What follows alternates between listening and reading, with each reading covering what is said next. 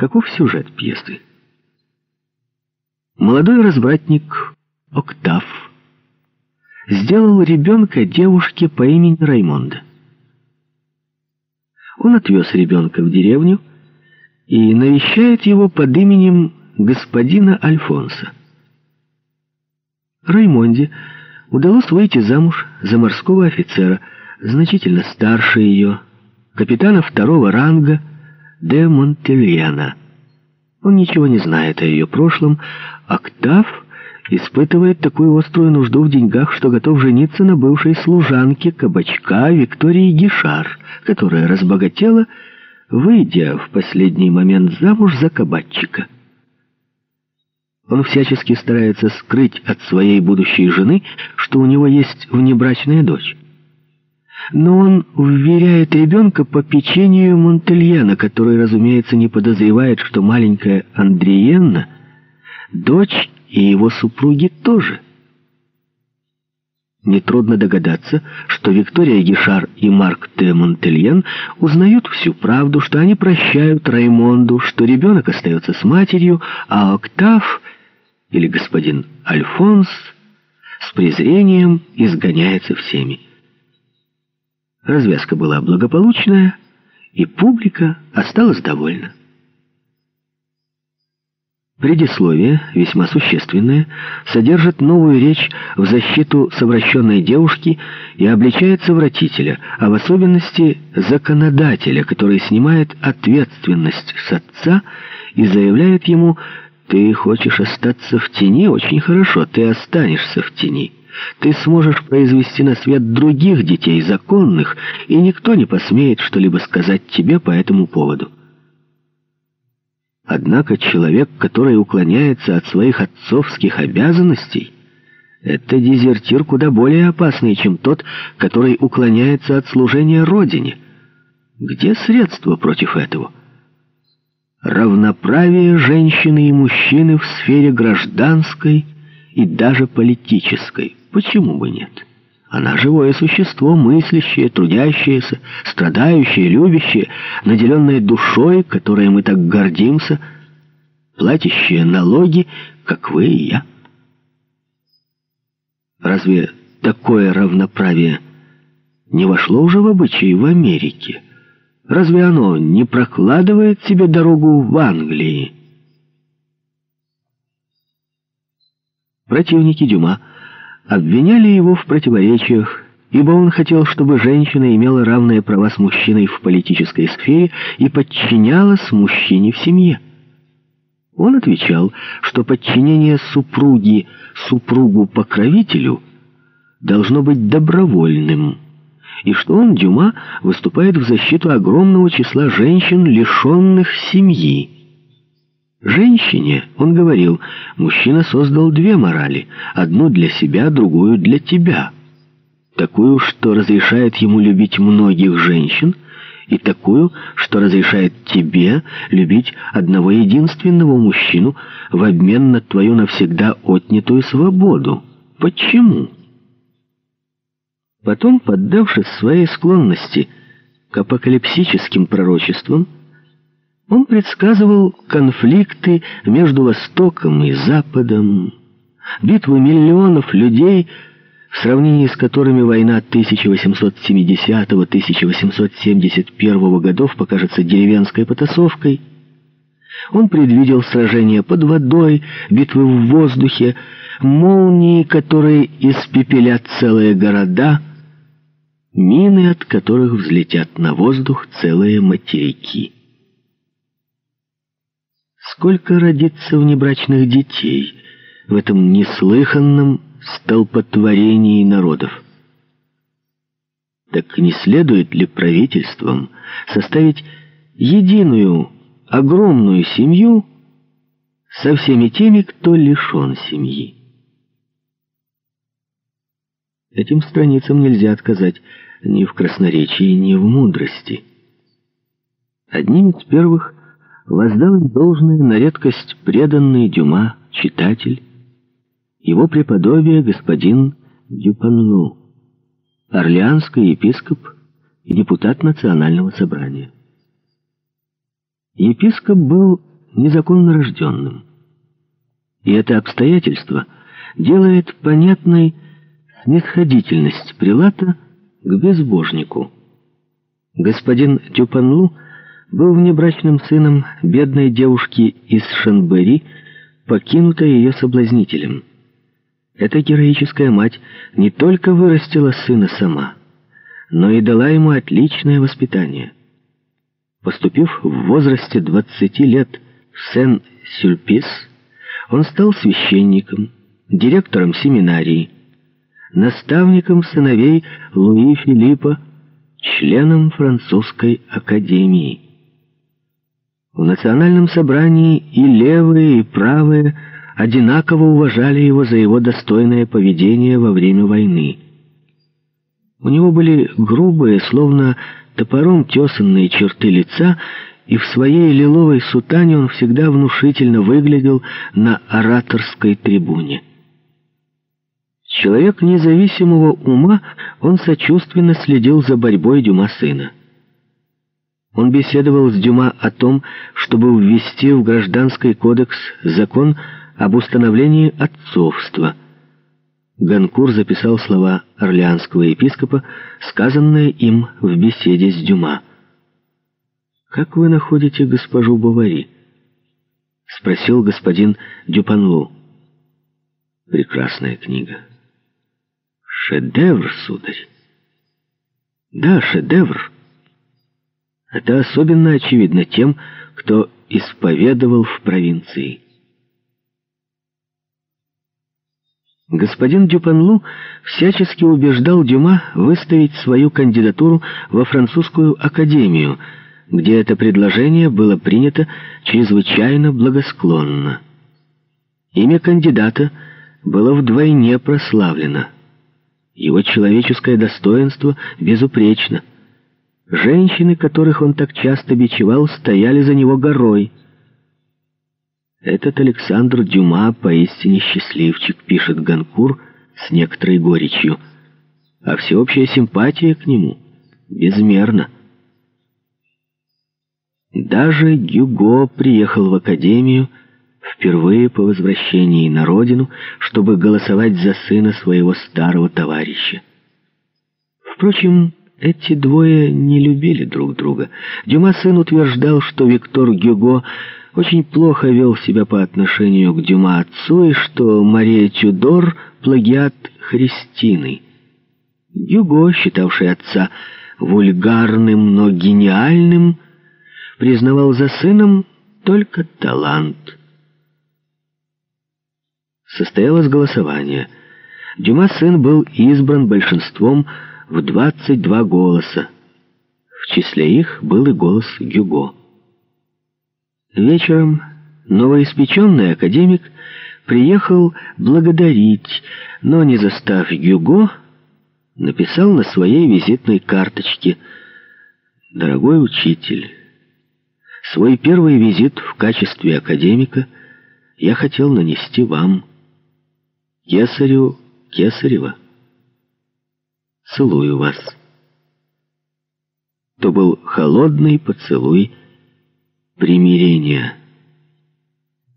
Дюма сын был причислен к лику бессмертных 11 февраля 1875 года графом Доссонвиллем. Эдмон де Гонкур, никогда не присутствовавший при приеме в Академию, хотел увидеть собственными глазами и услышать собственными ушами всю эту китайскую церемонию. День выдался очень холодный, но Дюма сделал аншлаг, и прикатившие в экипажах разодетые дамы теснили мужчин с орденскими ленточками. Принцесса Матильда, которая привезла Ганкура, занимала небольшую ложу, откуда был виден весь зал. Зал совсем невелик а парижский свет так жаждет этого зрелища, что не увидишь ни пяди потертой обивки кресел портера, ни дюйма деревянных скамей амфитеатра. До того жмутся и теснятся на них сановные, чиновные, ученые, денежные и доблестные зады. Сквозь дверную щель нашей ложи я вижу в коридоре изысканно элегантную женщину, которая сидит на ступеньке лестницы. Здесь она прослушает обе речи. Люди, близкие к академии, несколько мужчин и жены академиков, помещаются на круглой площадке, напоминающей арену маленького цирка и отделенной от остального зала балюстрадой. Справа и слева на двух больших трибунах рядами чинно восседают, словно выставленные на показ, облаченные в черное, действительные члены Академии. Солнце, решившее выглянуть, освещает лица, воздетые горе с той умильной гримасой, какая в церковных скульптурах обычно выражает небесное блаженство. Чувствуется, что мужчин обуревает восхищение, которое им не терпится выплеснуть наружу, а в улыбках женщин есть что-то скользкое. Раздается голос Александра Дюма. Тотчас же наступает набожная сосредоточенность. Потом слышатся одобрительные смешки, ласковые аплодисменты, блаженные возгласы «Ах!».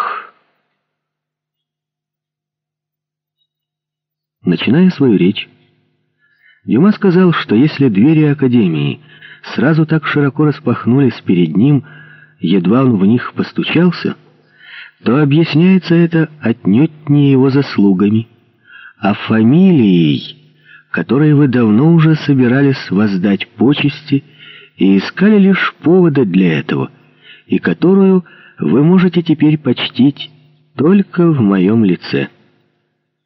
Позволяя мне сегодня возложить своими руками венец славы на этого дорогого усопшего, вы оказываете мне самую большую честь, о какой я только мог мечтать, и единственную честь, на которую я действительно имею право. Воздав таким образом должное своему отцу, он перешел к своему предшественнику Пьеру Лебрену, поэту стиля ампир, напыщенному и жеманному, который в 12-летнем возрасте в 1797 году написал трагедию о Кориолане – Умер он в 1873 году, в возрасте 88 лет. Наполеон когда-то оказывал ему покровительство. Этот Ахилл мечтал иметь при жизни своего Гомера. Ему было суждено обрести его только после смерти. Комплимент Виктору Гюго. Великой литературной битвой Лебрена была его драма «Сид андалузской. Однако победа так и не досталась ему. Несмотря на участие Тальма и мадемуазель Марс, пьеса была сыграна всего четыре раза. Это послужило для Дюма поводом заговорить о другом Сиде, Корнелевском, отзыва о котором Ришелье требовал у Академии. Замешательство было велико. Вы были всем обязаны основателю Академии и опасались не угодить ему. Вам было известно, что он жаждет отрицательного отзыва. Но вы в то же время не хотели своим пристрастным суждением преградить дорогу тому, чей первый опыт был произведением мастера. Дюма спрашивал себя, за что Ришелье преследовал Корнеля из зависти к собрату по перу? Следует ли подобным толкованиям принижать двух великих людей? Я убежден, что великий кардинал призвал к себе великого Корнеля и сказал ему, «Как? В то самое время, когда я пытаюсь изгнать и истребить все испанское, теснящее Францию со всех сторон, ты намерен прославлять на французской сцене литературу и героизм испанцев. Присмотрись к твоему Сиду. Да, с точки зрения драматической, это шедевр. С точки же зрения моральной и социальной, это уродство. Какое общество смогу я основать, если девушки будут выходить замуж за убийцу своего отца, а командующие армией пожертвуют Родиной, если их любовь останется без ответа. Ты в самом деле утверждаешь, что храбрость великого военачальника и судьба великой страны в большей или меньшей степени зависят от того, насколько сильно любит молодая девушка? Ступай, поэт, и опиши героев, достойных подражания. И тогда Корнель замыслил Горация, то есть антитезу Сиду, и эту трагедию он посвятил Ришелье. К несчастью, продолжал Дюма, верх одержала идея Сида, а не Горация. В самом деле, все битвы, в которых сражаются герои наших произведений, ведутся ради обладания какой-нибудь хименой. Она награда победителю. Добившись цели, он женится на своей химене и счастлив. Тогда это комедия. Если ему это не удается, он приходит в отчаяние и умирает. Тогда это трагедия или драма. Театр становится храмом, где славят женщину. Там мы восхищаемся ею, жалеем и прощаем ее. Там она берет реванш у мужчины и слышит обращенные к себе слова, что вопреки законам, которые созданы мужчинами, она царица и повелительница своего тирана. Все благодаря ей, все ради нее. Да, господа, такова наша слабость. Между нами и театральной публикой существует молчаливое соглашение, что мы будем говорить о любви.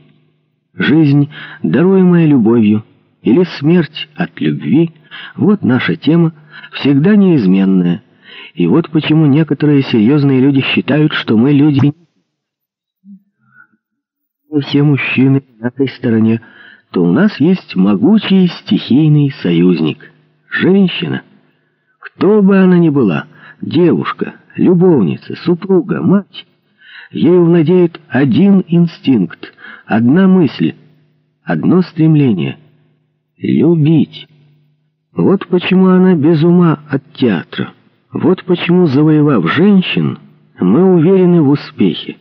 Вот почему Корнель был прав, написав Сида, а Ришелье, как государственный деятель, был прав, когда выступил против него. Когда Грез писал портрет Бонапарта, он придавал императору черты мадемуазель Бобюти.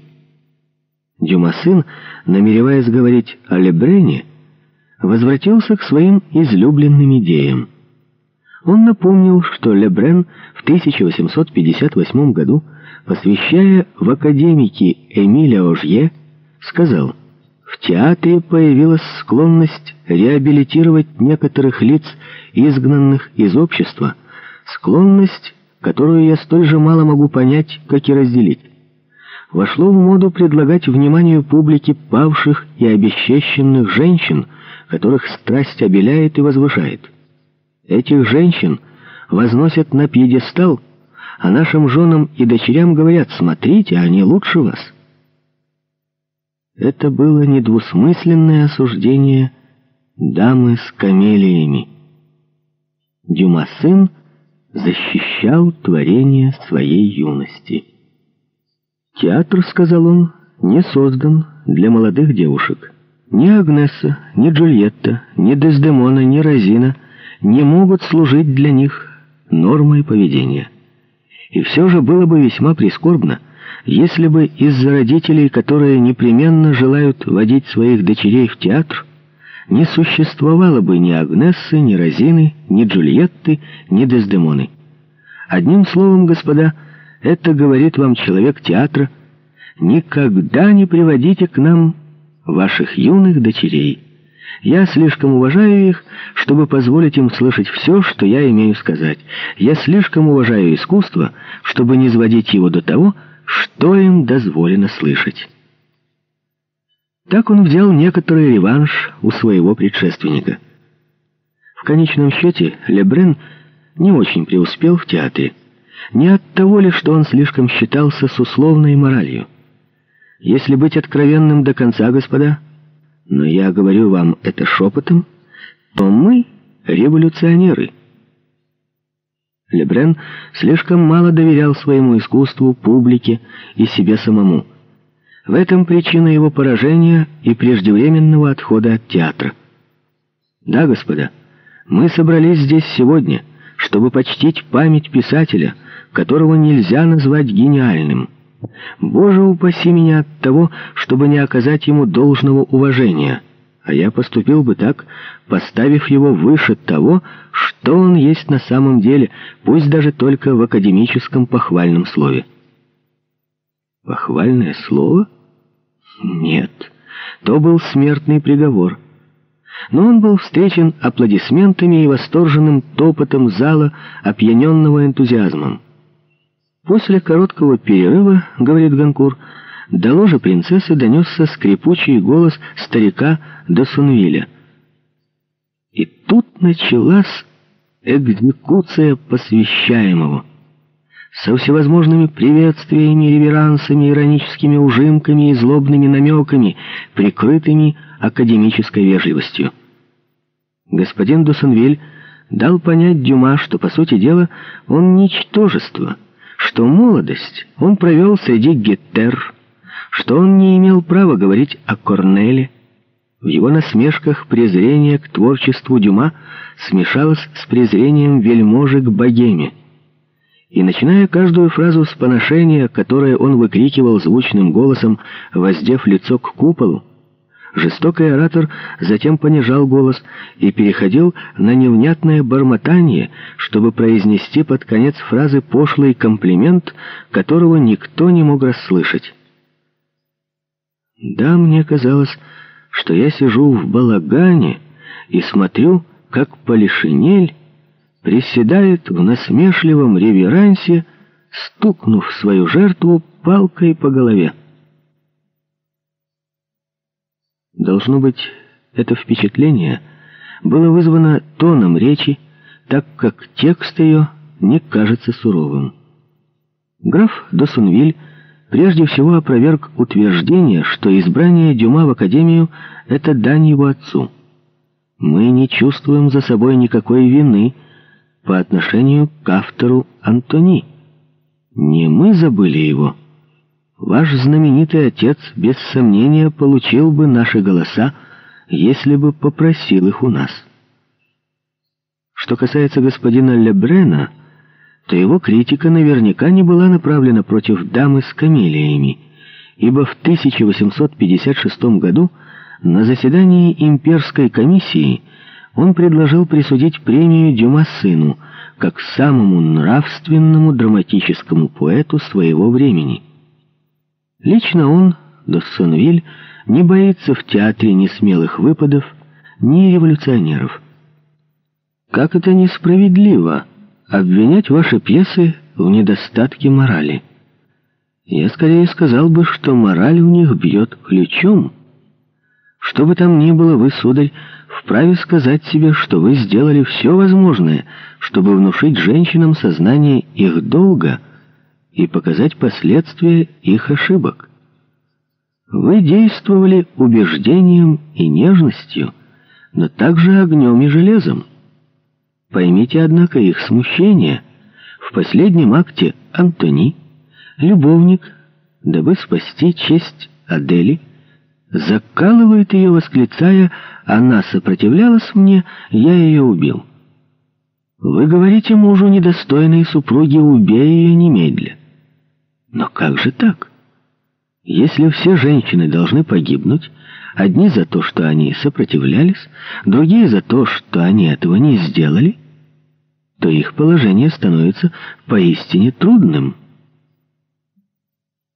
Анри Бек, не питавший особой склонности к Дюмасыну, сказал об этом заседании, что это был прием Клавароша герцогом де Ришелье, ибо у Дюма есть нечто от Клавароша — Нечто от победителя и воина, любезного, блистательного, грубого и хвастливого. Выходя, марселец Мэри заметил, разве это не забавно? Два человека обмениваются пулями, и вот один из них мертв. Они обмениваются речами, и вот один из них бессмертен. Море сказал, Доссонвиль считает себя умным, потому что ему удалось жениться на мадемуазель де Бройль на условиях общности имущества. Парижские остроты.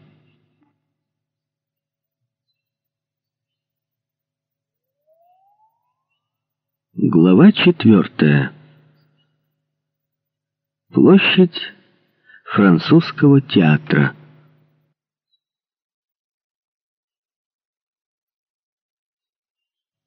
Долгие годы Дюма хранил верность театру «Жимназ».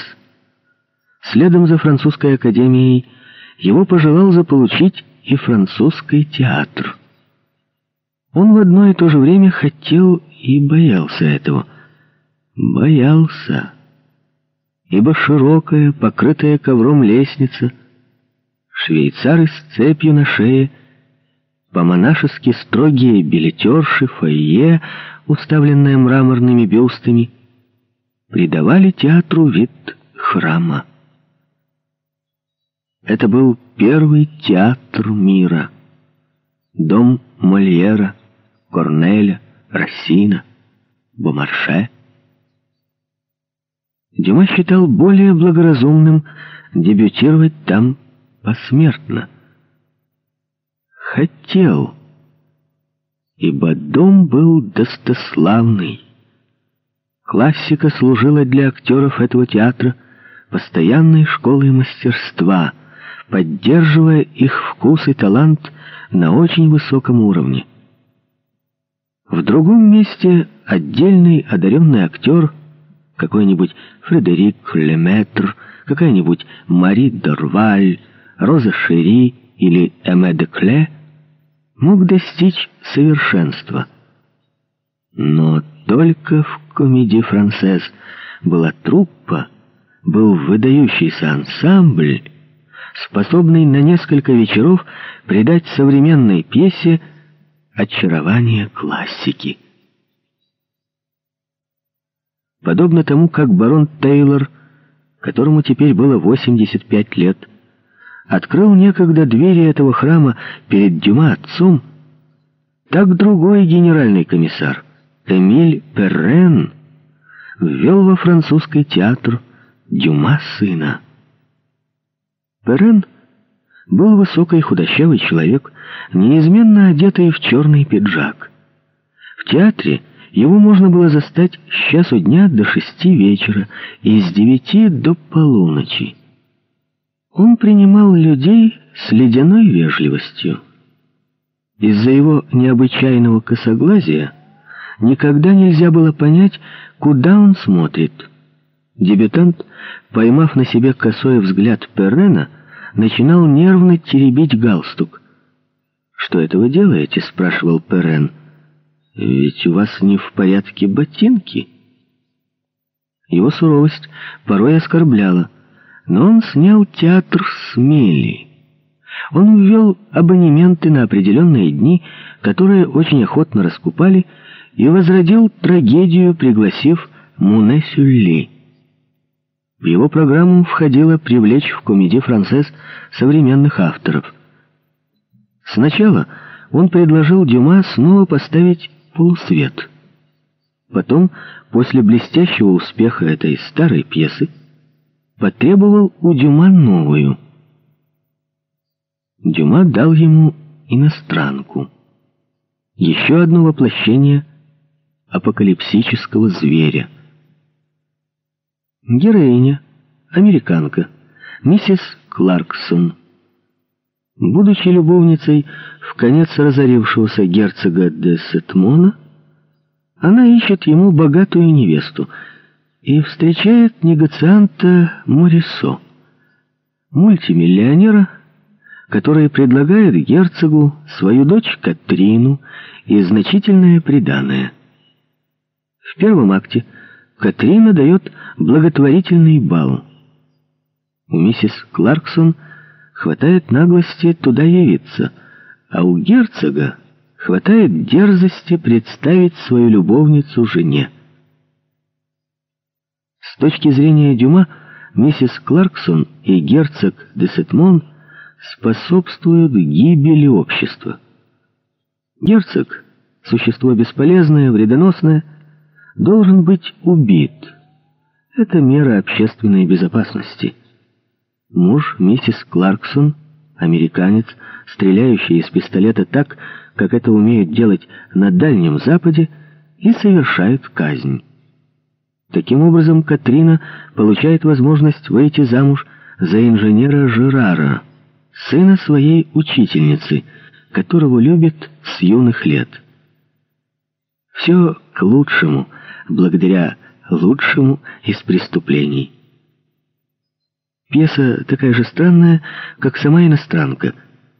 Негациант Морисо — который принес свою дочь в жертву снобизму, и Катрина, согласившаяся на эту сделку. Чем они лучше герцога де Сетмона? А этот последний, заслуживает ли он смерти? Он мог бы ее избежать, отвечал Дима в обществе, допускающем развод. Нерасторжимый брак обрекал недостойного мужа на гибель. Пусть палаты, наконец, дадут нам закон о разводе, и одним из непосредственных результатов этого акта будет неожиданное и полное преобразование нашего театра. Со сцены сойдут мольеровские обманутые мужья и несчастные жены из современных драм, ибо в условиях нерасторжимого брака было возможно лишь тайное мщение или публичное сетование жены прелюбодейки. Если с Гонореля действительно обманула жена, он с ней разведется. Антони больше не понадобится убивать Адель. Полковник РВ, узнав, что она изменила ему и ждет ребенка, вернет себе свободу и лишит ее своего имени. Клавдию уже не придется стрелять в Цезарину, словно в какую-нибудь волчицу, и нам не понадобится привозить из Америки мистера Кларксона, чтобы избавить бедняжку Катрину от ее гнусного супруга. Наконец, эстетика театра переживет полное обновление, и это будет не самое малое из благ, проистекающих из нового закона. Пресса негодовала. Сарсе задыхался от злости. Даже «Ревю де Дюмонд» выпустила залп. Однако все эти неистовые нападки разожгли любопытство публики. Она толпой повалила в театр, где превосходно играли эту пьесу с блестящим диалогом. Комедия «Францесс» предоставила новому автору свои лучшие силы. Герцогиню де Сетмон играла Софи Круазет, женщина редкостной, гордой красоты, с рыжей шевелюрой, удлиненными раскосыми глазами, грубым, отрывистым голосом. У нее, говорил Сарсе, такая постановка головы, такие модуляции голоса, что она способна околдовать крокодила. Ее девиз гласил «До победного конца». Она окончила консерваторию, где ее преподаватель Брессан ради нее вскоре забросил всех остальных учеников ее класса. Получив ангажемент в комедии «Францез», она привлекла множество зрителей на спектакль «Сфинкс» по пьесе Октава Фейе, где с чудовищным натурализмом играла сцену агонии. Для этого она заставила себя наблюдать, как умирает собака, отравленная стрихнином. Казалось, что Софи Круазет самим провидением предуказано играть миссис Кларксон — но Перрен поручил эту роль Саре Бернар и уговорил Дюма дать Круазет роль Катрины. За то долгое время, что шли репетиции, автор и актриса стали добрыми друзьями. Софи Круазет, Дюма сыну. Я считаю, что наше положение становится крайне тягостным. У меня совершенно такое же чувство, как если бы я находилась в зале ожидания и смотрела в окно на готовый к отправлению поезд. Мне хочется сесть в него Ведь я для этого и пришла на вокзал, и я не люблю ждать. Но в то же время сердце у меня сжимается от того, что я вот-вот уеду, и впереди неведомое. И это неведомое для меня герцогиня. Скажите, что будет, если я сойду с рельс? Ах, боже мой, боже мой, что касается вас, то я хорошо вас понимаю. Все это вам безразлично. Пусть ваши несчастные паяцы волнуются, вы только смеетесь, упиваясь своей силой. Знаете же, я думаю о вас гораздо больше, чем вы о бедной Круазет. Актрисы считали Дюма очень сильным человеком, так как он держался от них на почтительном расстоянии. В 1879 году Поль Бурже, молодой 27-летний критик, рано завоевавший авторитет, который все возрастал, нанес визит Дюма сыну, собираясь писать о нем очерк. Он увидел человека могучей и великолепной зрелости, с плечами атлета и взглядом хирурга, с повадкой военного. Голубые на выкате глаза словно заглядывали в душу собеседника. Полю Бурже, одержимому психологизмом, он сказал, «Вы производите на меня впечатление человека, у которого я спрашиваю, сколько времени, а он вынимает часы и разбирает их у меня на глазах, чтобы показать, как работает пружина». И он разразился звонким смехом.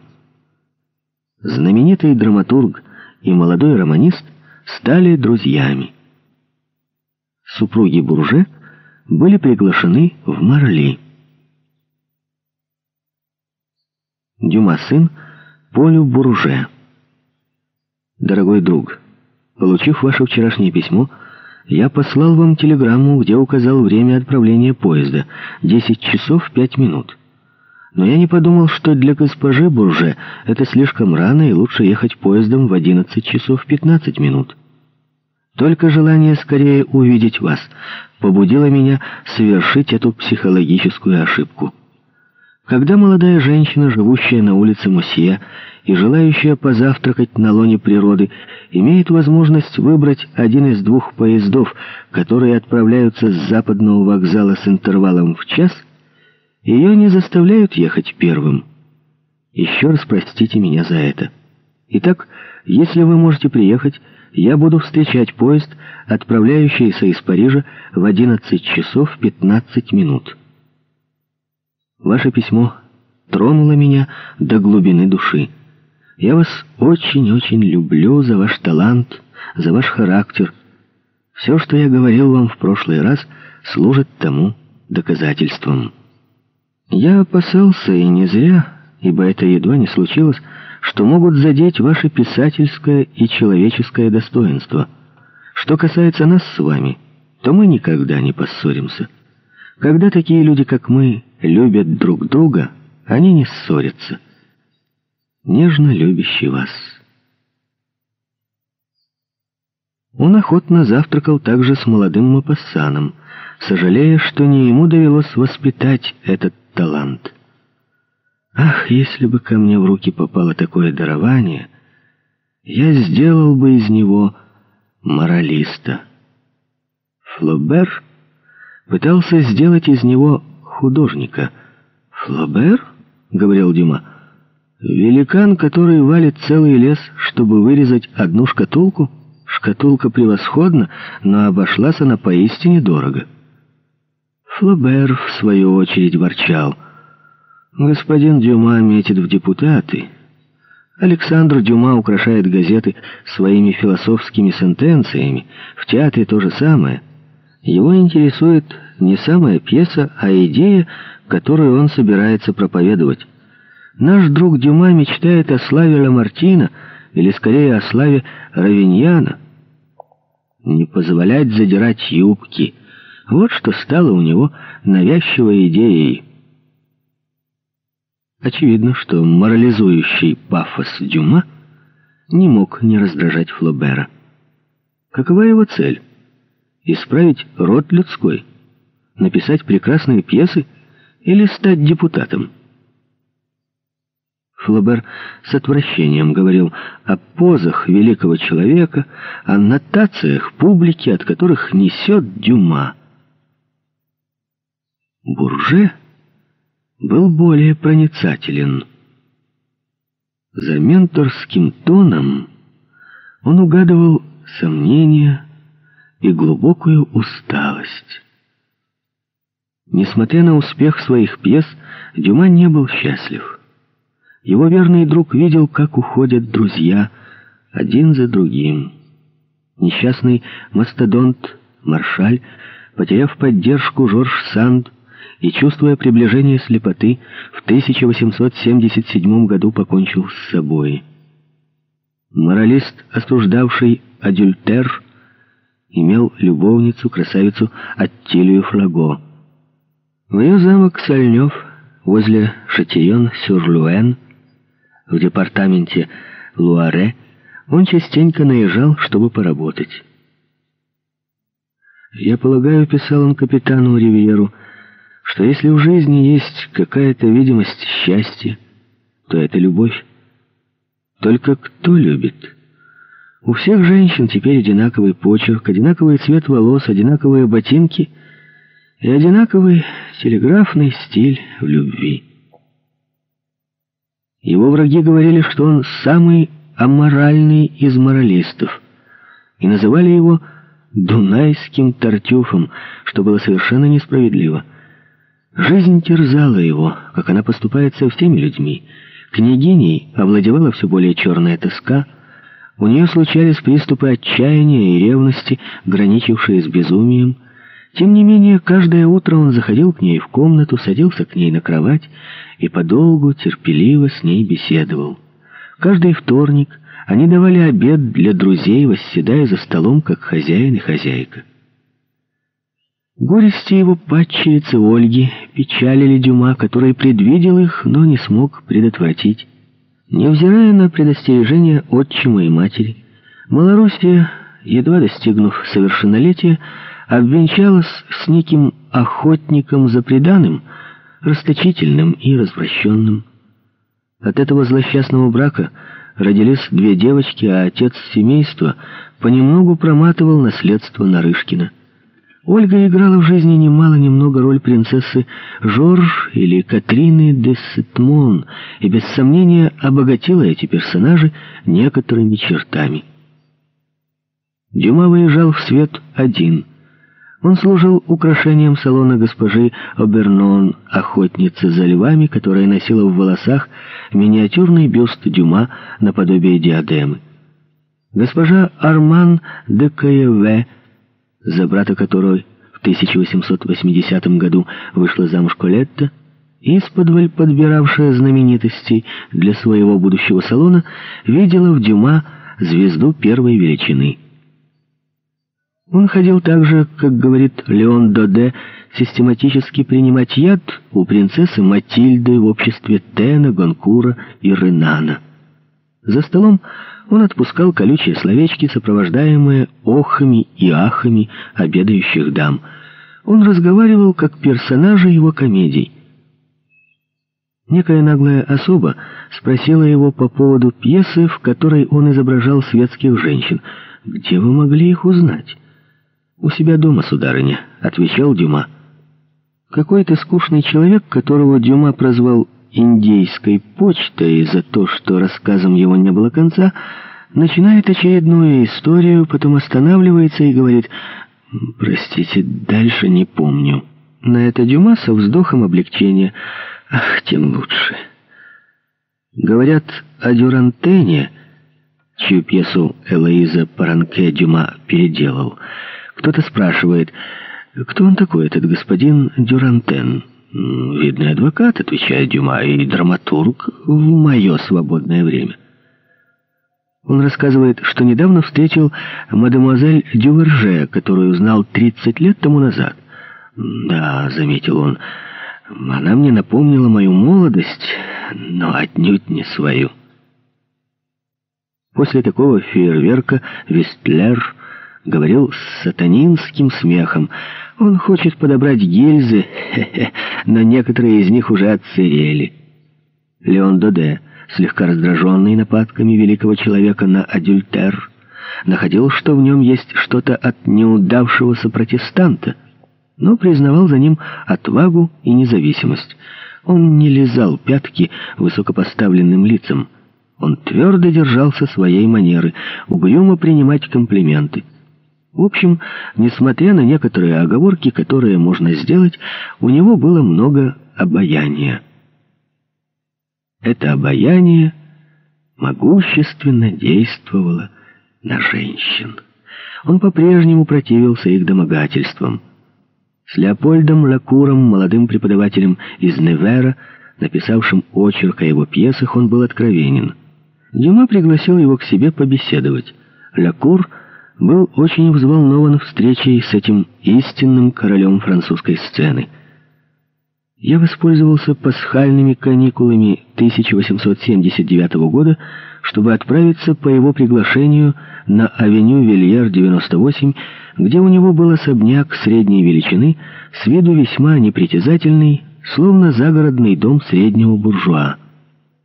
Единственную его роскошь составляла довольно изрядная картинная галерея на втором этаже.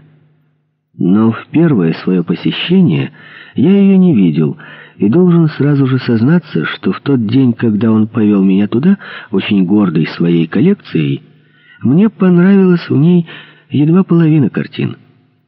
Наряду с картинами, пейзажами и портретами бесспорной ценности – а именно, если мне не изменяет память после стольких лет, полотнами Теодора Руссо, Бюпре, Бонна. В большинстве своем там были вещи, ценные не сами по себе, а по стоящим под ними именам, которые высоко котировались во времена Второй империи. Они были не более чем любопытны. Но сам он с той минуты, как мы с ним остались с глазу на глаз в его рабочем кабинете, где вместо каких бы то ни было украшений над обыкновенным черным бюро висела прекрасная картина Дубиньи, сам он восхитил меня необыкновенно. Я никогда не видел его раньше. Высокий, широкоплечий, очень стройный, он выглядел величественно. Вьющиеся волосы с едва заметной проседью, ему было всего 55 лет, обрамляли лицо властителя, лицо, о котором я уже писал и которое в такой мере способствовало его репутации гордеца. Впрочем, никакого сходства с отцом. Его незаконно рожденный брат-гигант Анри Бауэр — вот кто позднее явил мне живой портрет автора Монте-Кристо. После новых изъявлений, благодарности, без всякой лести — он расспрашивает меня о моей преподавательской работе, о любимых книгах. Затем вдруг, к моему изумлению, задает вопрос. «Известно ли вам, почему Иисус завоевал мир?» Прежде всего, осмеливаюсь я возразить, он завоевал не весь мир, а только его часть. Пусть так, но эта часть как раз и представляет наибольший интерес с точки зрения современной цивилизации. Итак, я повторяю свой вопрос. Да потому что Иисус был распят за проповедь своего учения о бесконечном милосердии и всеобщей любви. Несомненно.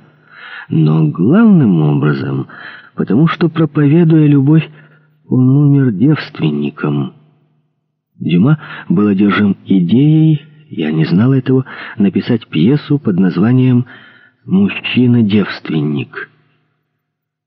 Лучшая из женщин, самая преданная, рано или поздно причинит вам посильное зло. Госпожа Литре, святая женщина, ждала сорок лет. К смертному ложу атеиста, которого она боготворила, она привела священника, и тот покрыл бы имя Литре позором, вернув его в лоно церкви, если бы удалось обмануть общественное мнение. Существуют далилы исповедальни, далилы Алькова — Непобедим только мужчина-девственник. Вот почему я повторяю вам, если бы Иисус не умер девственником, ему не удалось бы покорить мир. Мужчина-девственник. Дюма давно мечтал об этой пьесе. «Я вложу в нее всего себя», — сказал он Леопольду Лакуру. «Всего себя?» — подумал тот. «Для самоочищения?» Но не подвергается ли искушению сам очищающийся? На деле Дюма любил и боготворил то, что на словах предавал анафеме. Поэтому он был любим столькими женщинами. Удивительное зрелище являл собою этот драматург, выступавший перед актрисами в роли прорицателя. Зрелище, в общем, трогательное, ибо, чтобы не пасть, он вынужден был читать проповеди самому себе. В зрелые годы Дюма сын беспрестанно возвращается к теме «мужчина, бегущий от искусительницы». Существует любопытная коллекция его писем к неизвестной грешнице. Начинается она с ответа на просьбу устроить ангажемент. «Мое дорогое дитя, я ничего не могу сделать для вас во французском театре. Вот уже два года, как я добиваюсь у Перре на ангажемента для одной актрисы, который рассчитывал получить без всякого труда, но до сих пор так и не получил. Я больше не могу и не хочу у него ничего просить». Засим следует прекрасное письмо о мадемуазель де Лапорт, очаровательной и скромной инженю, одной из ближайших приятельниц Дюма, которую почему-то считали его любовницей. Мадемуазель де Лапорт имеет полное основание так говорить обо мне. Это женщина, которую я, несомненно, уважаю больше всех других. Я не встречал женщины более примерной, более достойной, более мужественной. Мы питали друг к другу очень большую привязанность и очень высокое уважение. Каких только отношений нам не приписывали. Но ничего подобного не было, и я рад, что люди заблуждались. Вообще мнение о том, что для действительного обладания женщиной необходимо обладать ею физически, одно из великих человеческих заблуждений. Как раз наоборот, материальное обладание, если только оно не облагорожено и не освящено браком, взаимными обязательствами, семьей, несет в себе причину и зародыш взаимного отталкивания. Правда, при сближении одних только душ не бывает опьянения, но нет также и пресыщения, и впечатления, возникающие при этом, такие чистые и свежие, что они, так сказать, не дают физически состариться двум людям, их испытавшим. Этот портрет, по мысли Дюма, должен был служить образцом для грешницы. Но какая женщина согласится признать, что другая достойна подражания? Грешница дала понять, что ей скучно, что любовник, а в особенности знаменитый любовник, мог бы вдохнуть в ее жизнь дыхание романтики. Ее поставили на место. Я много изучал жизнь. Знаю ее не хуже, а, быть может, и лучше других. Результат моих наблюдений таков. Самые большие шансы на счастье таит в себе добро. Вы материально независимы. Пользуйтесь этим. Вы питаете ко мне доверие. Это единственное слово, которое я в моем возрасте могу употребить. Вы называете это любовью, потому что вы женщина, вы молоды и восторженны. А так как вы восторженны, молоды и вы женщина — то вы способны понять что-либо только через любовь. Все, что есть у вас хорошего, и чему никто не нашел применения, открылось мне по первому моему зову, искреннему и доброжелательному, и за это вы благодарны мне настолько, что полагаете, будто никого, кроме меня, не любили. А я должен воспользоваться этим, чтобы попытаться сделать вас в будущем более счастливой, чем вы были в прошлом. И если мне это удастся, разве не все средства окажутся хороши? «Доброй ночи, мадемуазель. Спите спокойно». Она упрекала его, что он внушил ей любовь к себе, он оправдывал это тактическими соображениями. Прежде всего, надо было привлечь к себе эту душу, внушить ей доверие. А единственным средством, которым он располагал, чтобы воздействовать на женщину в вашем положении, была любовь. Женщины лучше поддаются впечатлению, чем доводам рассудка. Лучшая политика по отношению к ним — это внушить любовь к себе. Стоит им только полюбить, как они готовы все понять, ибо человек, которого они любят, в их глазах соединяет в себе все обаяние и весь ум. Это приключение кончилось так же, как история с несчастной Декле. Грешница, разочарованная сопротивлением своего кумира, отдалась недостойному фату, продолжая, по ее словам, любить Дюма. Моралист произнес над этой любовью суровое надгробное слово. Старая пословица гласит, из мешка с углем не достанешь муки. По отношению к вам это значит нечего сразу ждать любви, добродетели, верности, искренности и платонических чувств от женщины, которая целых 15 лет жила так, как вы. В такой жизни некоторые стоны души неизбежно глохнут. Вы жертва вашей семьи, если такое можно назвать семьей, вашего происхождения, вашего нездорового воспитания, вашей развращенной среды. Жертва неудачной первой любви — продажной любви в дальнейшем, поскольку вы лучше большинства окружающих вас женщин, поскольку у вас еще осталось немного души, вы прилагали немалые усилия к тому, чтобы вылезть из той грязи, в которой вы увязли. Высоко над вершиной горы виднелся клочок голубого неба, но чтобы взобраться на эту гору в одиночку, у вас не хватало сил. Женщина ни на что не способна, пока у нее нет партнера. В лице одного из наших собратьев вы обрели спасителя, спутника — он, конечно, женился бы на вас или хотя бы удержал возле себя, но вы ухитрились скомпрометировать себя с комедиантом, с фигляром, и ваш спаситель покинул вас. Вы пали снова.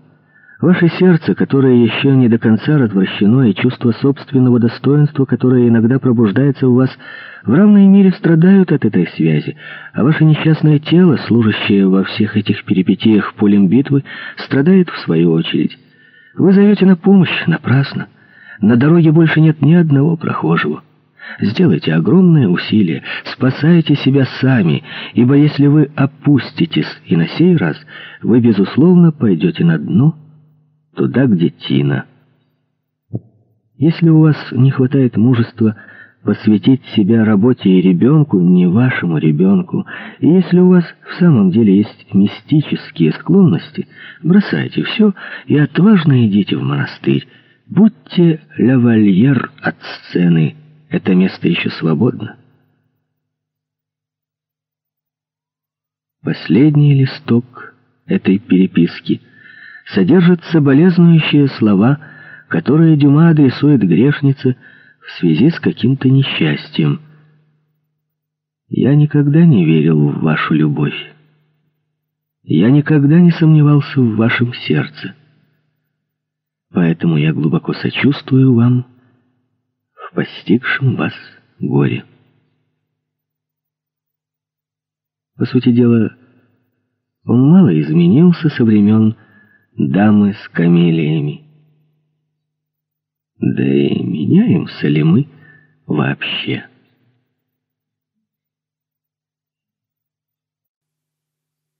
Часть десятая. Занавес. Бог придумал начало. Он сумеет придумать и развеску, и вряд ли она окажется в духе Анисе Буржуа. Дюма сын. Письмо к Анри Ривьеру. Глава первая. На покой.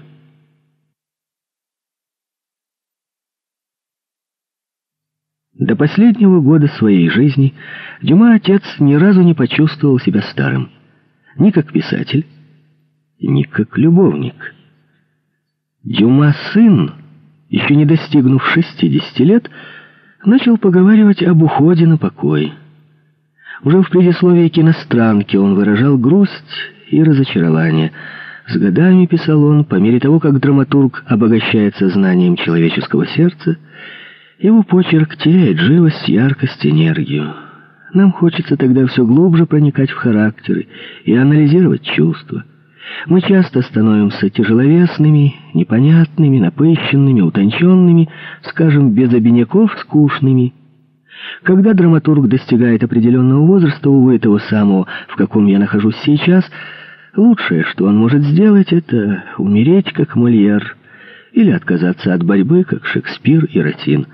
Это дает возможность хоть в чем-то уподобиться великим. Театр можно сравнить с любовью. Он требует хорошего настроения, здоровья, силы молодости. Стремится быть неизменно любимым женщинами или обласканным толпой значит подвергать себя самым горьким разочарованиям.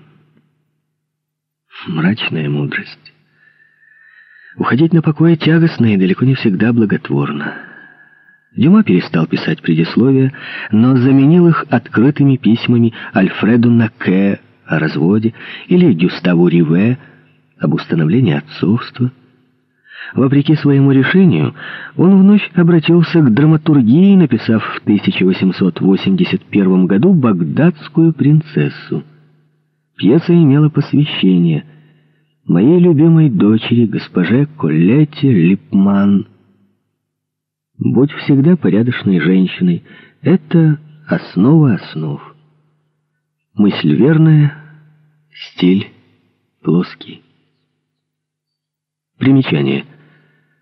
2 июня 1880 года Колетта Дюма вышла замуж за Мориса Липмана 1847-1923 годы, брата госпожи Арман де Каеве, урожденной Леонтины Липман 1844-1910 годы. От этого брака у нее родились два сына, которые еще живы, Александр и Серж Липман. 25 мая 1892 года Колетта разошлась с мужем. 2 октября 1897 года она вторично вышла замуж за румынского врача Ашиля Матца. 1872-1937 годы. Премьера пьесы вызвала большой шум. Пресса была неблагоприятной. Дюма объяснял неудачу политической неприязнью. Ему день не могут простить его писем о разводе. Может быть, в этом действительно заключалась одна из причин возмущения светского и буржуазного общества. Но главной причиной было другое. Багдадская принцесса страдала той нереальностью, которую сам Дюма так осуждал в творчестве стареющих писателей. Где и когда существовал Набоб, подобный Нурвади? Этот Антони-миллионер казался более старомодным, чем Антони, созданный полвека назад. Разве какая-нибудь женщина когда-либо произносила такие слова, как Леонетта де Юн, как дочь багдадского короля и мадемуазель Дюрантан? Связь с действительной жизнью оказалась нарушенной. Лучшие пьесы Дюма были автобиографическими. «Дама с камелиями», «Диана де Лис», «Полусвет», «Внебрачный сын», «Блудный отец» были основаны на воспоминаниях. Несомненно, что Маргарита Готье, баронесса Данж, как и всякий драматический персонаж, которому суждено жить на сцене, представляли собой не портреты, а упрощенные фигуры, четко определенные типы. Иногда они были плодом непосредственных наблюдений. Леонетта де Юн, так же как мисс Кларксон, иностранка, была уже не типом, а символом, аллегорией. Как мог Дюма, ясно сознавая всю опасность такой ошибки, все же допустить ее? Достигнув определенного возраста, или скорее определенного успеха, писал Фердинанд Брюнетьер, многие авторы изолируют себя от окружающего мира, перестают наблюдать и смотрят уже только в самих себя – они покончили с тем, что Гёте называл «годами учения». Они дают волю фантазии. Автор «Багдадской принцессы» дал волю фантазии. Однако фантазия плохо развивается в пустоте. Так же, как кантовской голубке, для полета ей необходимо сопротивление среды. Что знал, достигнув зрелого возраста, этот король сцены? литературный мир и высший свет, ничтожную часть Парижа, общество, изысканное в пороке и утонченности. Литература, создаваемая писателями этого мирка, есть не что иное, как коллекция патологических случаев. Ничего по-настоящему здорового и по-настоящему простого. В «Багдадской принцессе» вновь зазвучали навязчивые идеи Дюма, те же, что в свое время подсказали ему не имевшую успеха иностранку, преклонение, смешанное со страхом перед разлагающей властью денег, преклонение, смешанное с ужасом перед властью женщины. Но идеи бессильны породить живые существа. Барбе Доревильи сурово осудил багдадскую принцессу. Пьеса провалилась, как будто написал ее не господин Дюма. Вещь столь же удивительная, как если бы с потолка театрального зала свалилась люстра и разбилась в дребезги. На следующий вечер на абонементном спектакле провалившаяся пьеса так и не нашла костылей, чтобы подняться.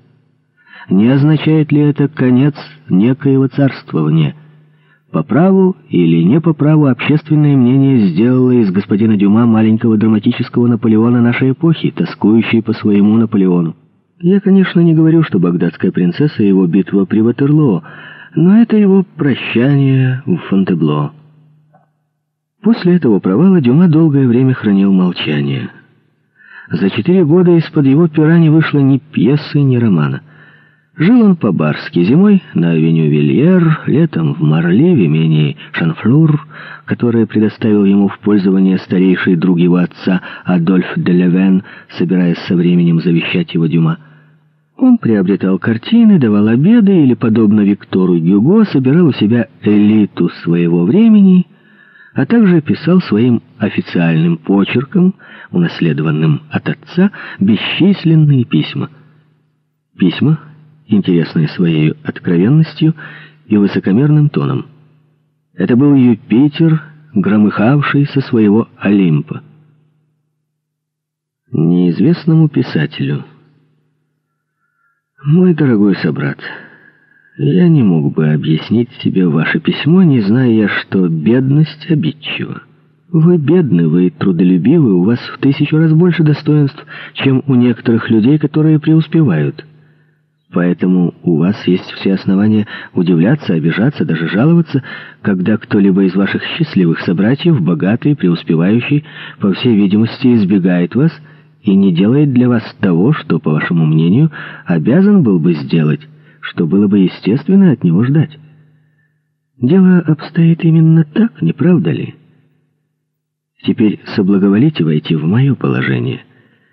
Таких писем, как ваши, я получаю без преувеличения от 40 до 50 в месяц – вы не единственный в мире человек, кому приходится работать, ждать, чей талант пропадает в туне.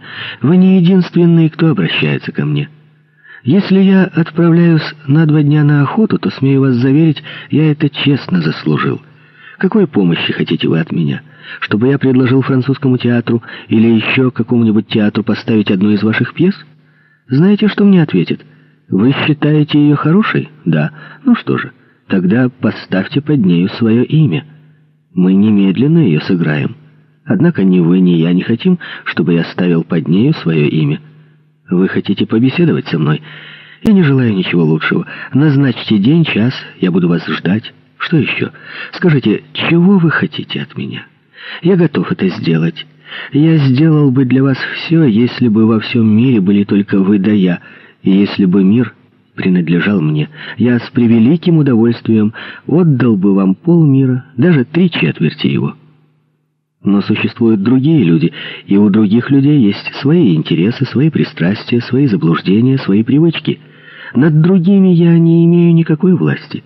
Все, что я сам в силах сделать, я делаю, но я не люблю и не хочу получать отказ, даже прося за другого. Написано не без изящества — лучше, чем багдадская принцесса. А вот письмо журналисту монархистского толка, которого шокировала пьеса, написанная Дюма сыном по мотивам романа «Жозеф Бальзамо» Дюма отца. Пюи, 24 сентября 1878 года. Мы живем в такое время, когда никто не может сказать правду, не рискуя оскорбить убеждения какой-либо группы. Поскольку мы живем в республике, в настоящее время среди роялистов принято считать, что все монархи были ангелами, даже Людовик XV. Нашлись люди, заявившие мне, что госпожа Дюбари была очень хорошо воспитанной особой, и что, приписывая несколько скобрезные слова этой женщине, говорившей королю Франции «Твой кофе сбежал ко всем чертям», а госпоже де лавальер, когда последняя после восшествия на престол Людовика XVI принесла ей приказ об изгнании, чертовски скверное начало царствования. Нашлись люди, заявившие, что я оклеветал эту бывшую публичную девку, о которой так замечательно сказал Ламартин. Так умерла эта женщина, обесчестив одновременно и трон, и эшафот. Что я, по-вашему, должен ответить на это? С одной стороны, нарисовав Жильбера, я оклеветал народ, добрый народ, который, убив госпожу де Ламбаль, тут же отрубил ей голову и надругался над останками. В настоящее время считается также, что все люди из народа, поскольку все они избиратели, тоже ангелы. Всеобщий рай. Другие заявили, что, изобразив Марата и приписав ему слова, которые я, кстати, заимствовал из романа, ибо, в конце концов, пьеса написана по книге, которая принадлежит не мне, я призывал к организации коммуны. Все мы в настоящий момент ходим на голове, ногами кверху. Что я могу поделать? Это пройдет. Следующая революция восстановит равновесие, отрубив ноги вместо голов. Моей стране, чтобы быть счастливой, достаточно всеобщего избирательного права, речей Гамбетты и корневильских колоколов. Я не восстаю против этого и не претендую на то, чтобы развлекать ее моими пьесами, романами и идеями. Когда Наке провел в палате закон о разводе, которого так долго ждал и добивался Дюма сын, сенатор от Воклюза в письме, опубликованном газетой «Вольтер», призвал Дюма отдать свои симпатии республике, которой Франция обязана такой важной реформой. Но писатель упорно держался за свою независимость. «Я никому не давал никаких обязательств. Я не принадлежу ни к какой партии, ни к какой школе, ни к какой секте» не поддерживаю ничьих чистолюбивых замыслов, ничьей ненависти, ничьей надежды. Вы, сударь, один из тех людей, которые особенно ратовали за всеобщую свободу. Можете быть горды и счастливы. Я обладаю этой свободой полной, окончательной, неприступной, и каждый мог бы обладать ею, как я, без прокламаций, без шума, без мятежей и насилия. Для этого требуется ни много ни мало труд, терпение, уважение к себе и к другим. Он не верил в политические этикетки и отказывался носить на себе какую-либо из них.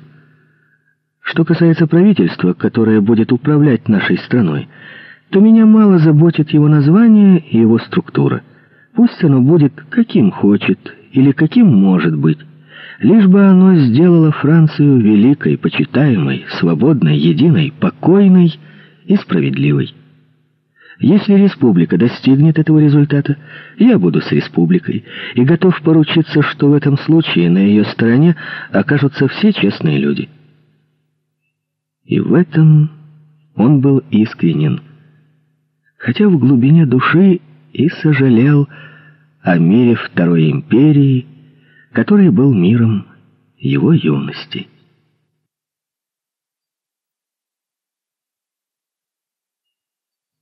Глава вторая. Дениза. Атлетическая фигура Дюма, его суровость, его слава, память о даме с камелиями, романтический брак с русской княгиней — все это продолжало притягивать к нему женщин, искавших общения с писателем. Среди них одной из самых интересных была Адель Коссен, очень богатая коллекционерка, которая жила на Тильзитской улице в особняке с четырьмя фасадами и сотней окон, смотревших на Триумфальную арку, особняке, заполненном произведениями искусства. Ей суждено было вдохновить Дюма на создание новой пьесы он вернулся в театр. Адель Коссен, которую чаще называли Кассен, дочь красильщика, родилась в Коммерси в 1831 году и в юности была чтицей у одной знатной сицилианки. Как подлинная героиня Дюма сына, компаньонка забеременела от старшего из четырех сыновей семейства Монфорте, потомка того Монфора, которого Карл Анжуйский привез с собой в Сицилию в XIII веке. На время родов она укрылась в родной Мёзе, и там появилась на свет девочка Габриэль. Тогда-то и началось существование госпожи Кассен, женщины умной, честолюбивой и очень красивой. Банкир Эдуард де Лессер, кое-кто из Ротшильдов и основатель галереи Жорж Петти дали ей возможность приобрести один из прекрасных маршальских особняков между Елисейскими полями и площадью Звезды. Там она собрала свою знаменитую коллекцию картин, где кроме работ итальянских и испанских мастеров были «Каштановая аллея» Теодора Руссо и «Соломея» Анри Реньо. Портрет самой Адели в атласном платье цвета слоновой кости и портрет ее дочурки с распущенными волосами были подписаны именем Гюстава Рикара. Примечание. Эти две картины были переданы в Малый дворец маркизом Мандольфо Каркано. Каштановая аллея Руссо находится в Лувре, Соломея Ренё в Нью-Йоркском музее Метрополитен. Госпожа Кассен не была баронессой Данж. Она вела жизнь, по видимости, безупречную. У нее обедали люди из высшего света, правда, они не приводили на Тильзитскую улицу своих жен. Министры республики, например, Гамбетта и Рибо, художники, например, Гюстав Доре и Леон Бонна были ее друзьями. Она добилась того, что некий благонамеренный бордосец, носивший полуаристократическое имя, узаконил ее дочь, и в 1869 году госпожа Кассен выдала ее замуж за графа Руджьеро Монфорте, самого младшего брата ее собственного бывшего любовника, который теперь стал герцогом Лаурита. Таким образом, Габриэль в замужестве обрела то имя, которое должна была носить по рождению – Получив богатое приданое, она поселилась во Флоренции и почти порвала со своей матерью, которая сама дала себе прозвище матери Гурио. В 1880 году госпожа Кассен познакомилась с Дюма, чьи пьесы она давно любила.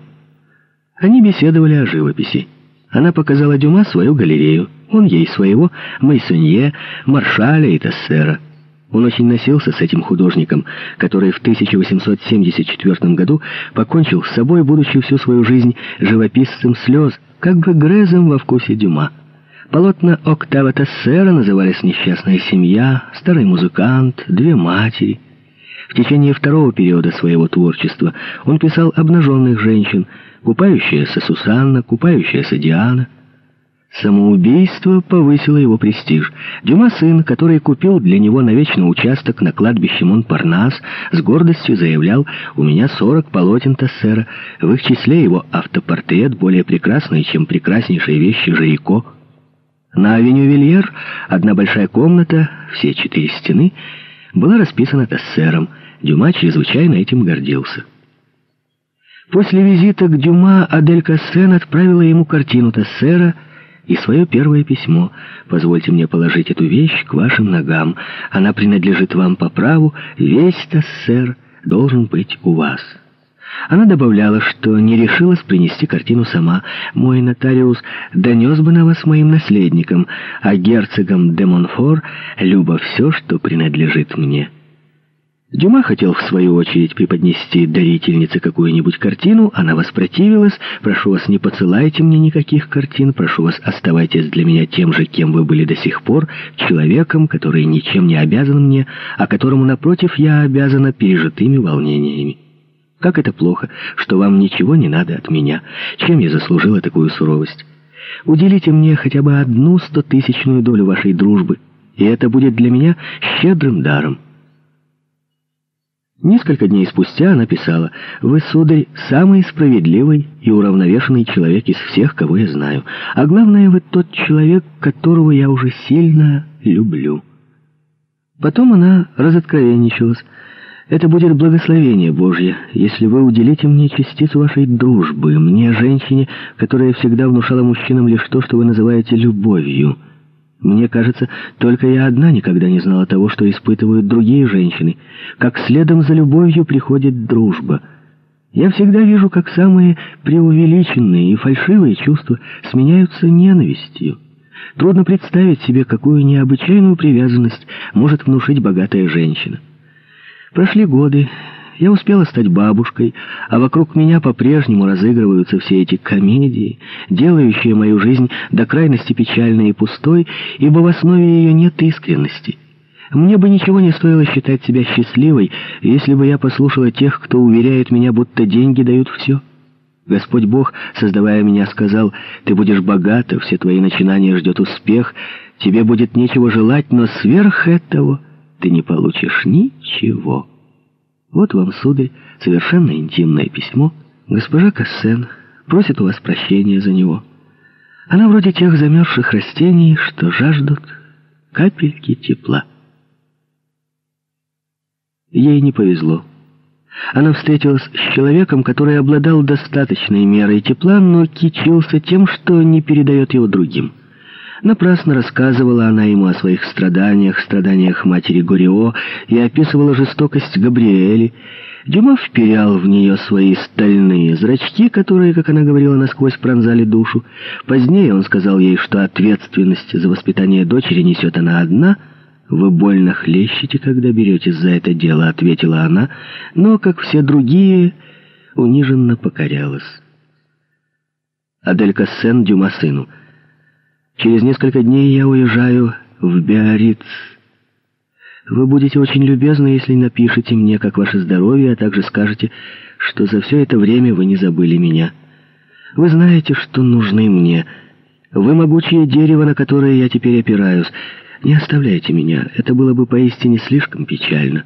В великом одиночестве моей жизни в настоящее время вы — все. Я знаю, что в наших отношениях нет ничего от секса, но я все-таки женщина и нуждаюсь в вашей защите, чисто моральной». Она описывала ему своих многочисленных поклонников. В 50 лет она была еще достаточно богата и красива, чтобы привлекать их. Лорд Паулет, шестой граф Паулет, увез ее в Хинтон Сент-Джордж, графство Сомерсетшир, где у него был замок и поместье площадью в 22 129 акров, приносившая ежегодный доход в 21 998 фунтов стерлингов. Этот благородный лорд представил Адель своей матери и всему дворянству графства и умолял очаровательную француженку выйти за него замуж. Он дважды овдовел, обе его графини умерли молодыми. Госпожа Кассен рассказала Дюма об этой победе. Хотя она и благодарила его за то, что он не ухаживает за ней, она выказывала бешеную ревность к госпоже Флаго. Примечание. Отилия Гендли вышла замуж за художника Леона Флаго. У госпожи Флаго, женщины бесспорной скульптурной красоты, был длинный нос. Ее прозвали дочерью Венеры и Полишинеля. Он резко выговаривал ей за чрезмерную чувствительность. Она возмущалась цинизмом, который он выставлял на показ. 20 сентября 1881 года. Неужели вы можете говорить подобные гнусности? Любовных огорчений не бывает. Вот опять что-то новое, и вам придется взять на себя труд объяснить мне это. Я вам поверила с грехом пополам, когда вы написали мне, что не бывает моральных страданий. Это может показаться истиной, потому что вы прибавили к этому «бывают только органы, неспособные переносить боль» и так далее. Но заявить, что не бывает любовных огорчений, такое варваричество, сказал бы герцог Ассуна. И это говорите вы, и вы смеете говорить мне». Либо вы смеялись, когда писали мне это, либо вы были до сего времени счастливейшим из счастливых. Как? Вы никогда не знали сердечных мук? По правде говоря, он знал их, но гордость заставляла его их подавлять. Он хорохорился, чтобы не впасть в отчаяние. Они долгое время оставались друзьями.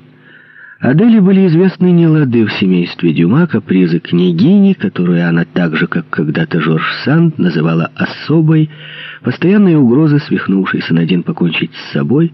Быть может, Адель уже несколько лет лелеяла мечту занять место особы в жизни Дюма, но он развеял все ее иллюзии. Тогда она стала подумывать о браке с герцогом де Монфором, которого настоятельно требовала ее дочь Габриэль. Коммерси, 6 мая 1886 года.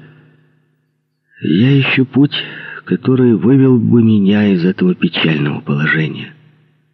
Я вижу только одно средство — перестроить свою жизнь на совершенно новый лад, выйдя замуж за герцога, если он еще желает этого. Ведь я уже много лет вожу его за нос. Быть может, тогда я обрету покой, потребный моему несчастному, измученному сердцу. Дюма резко порицал ее. «Бронзовые двери высшего света», — сказал он, как выразился бы Оливье де Жален, — «окажутся закрыты перед вами». Она незамедлительно ответила. «Отель Кайзергоф, Киссинген». «Сдается мне, что вы поставили себе целью унижать меня в моих собственных глазах. Ах, как вы жестоки!» Разумеется, мне не чужд дух смирения. Он был у меня всегда. Однако вы заходите слишком далеко. «Я буду герцогиней», — говорите вы, — «только для моих поставщиков и слуг». Подобную вещь могла бы сказать себе я, но зачем вы говорите мне это с такой жестокостью? Для моих внучек я наверняка буду герцогиней де Монфор, а это все, на что я могу трезво рассчитывать в этом мире. Если бы дядей моих дорогих девочек был какой-нибудь Жак или Жан, я испытывала бы те же чувства. Он в такой же мере был бы корнем дерева, под сенью которого я должна укрыться. Но он ведет свой род от плантагенета. Вы считаете, что я поступлю глупо, выйдя за него замуж? Надеюсь, что мои внучки будут другого мнения. К своей незамужней бабушке – они не придут никогда, а к супруге своего дяди-герцога побегут бегом.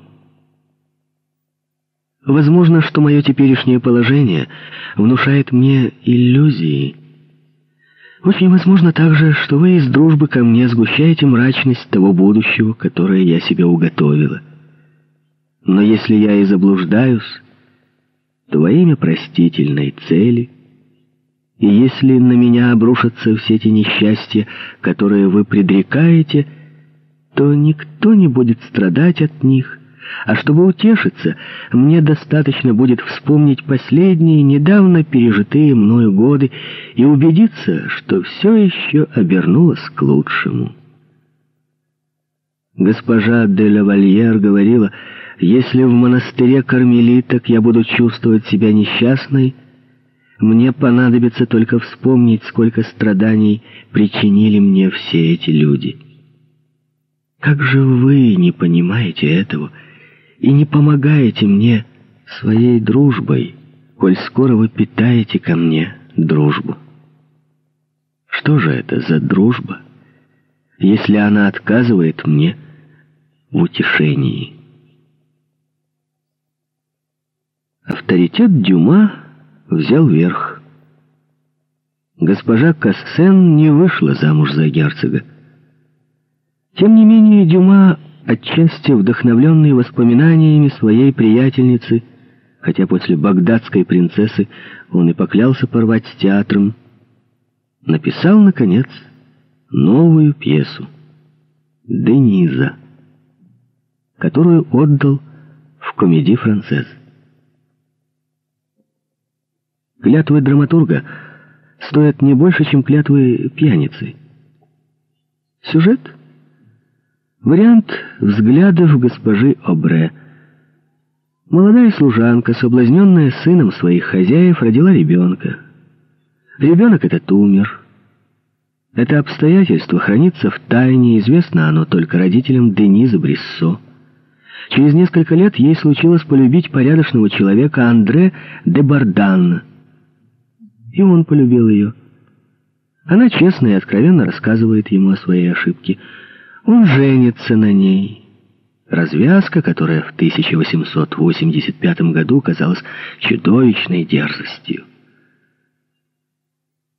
В комедии «Францесс» Дениза была поставлена очень хорошо. Совсем юная актриса Юлия Барте продемонстрировала в спектакле высокое и трогательное благородство. Вормс наделил Бардана своим красивым голосом. Коклен и Го оставались Кокленом и Го. Бланш Пьерсон, покинувшая жимназ, показала себя достойной своих новых товарищей. Публика приняла спектакль куда более благосклонно, чем «Багдадскую принцессу», потому что эта пьеса была более человечна, и потому что, так объяснил бы Дюма, моралист на сей раз решал конфликт в пользу женщины. Граф Примоли, старый друг автора, писал в одном из итальянских журналов «Дама с камелиями» произведение молодого человека.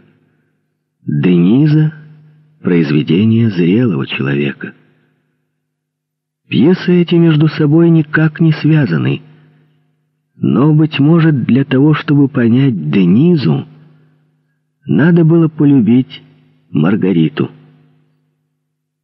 А главное, для этого надо было быть сыном одной Денизы, побежденной, не сумевшей начать свою жизнь заново, и поверенным другой Денизы, победившей и все же отчаявшейся. Успех был такой блестящий, какого, по словам Перрена, комедия «Францесс» не знала в течение 30 лет. Во время последнего действия публика рыдала. Каждый раз, как давали занавес, Дюма вытаскивали на сцену и устраивали ему овацию. Президент республики Жюль Греви пригласил его в свою ложу, чтобы поздравить. После спектакля автор поехал ужинать к Бребану со своей дочерью Колеттой, зятем Марисом Липманом и своим другом Анри Каэном, который крикнул, садясь в фиакр, «Кучер! В пантеон!» Надин Дюма, вынужденная по нездоровью остаться в Марли, получила 28 телеграмм, в которых ей после каждой картины сообщались впечатления публики. Министр почт Кошери приказал не закрывать телеграфа. Премьера пьесы Дюма стала событием национального значения.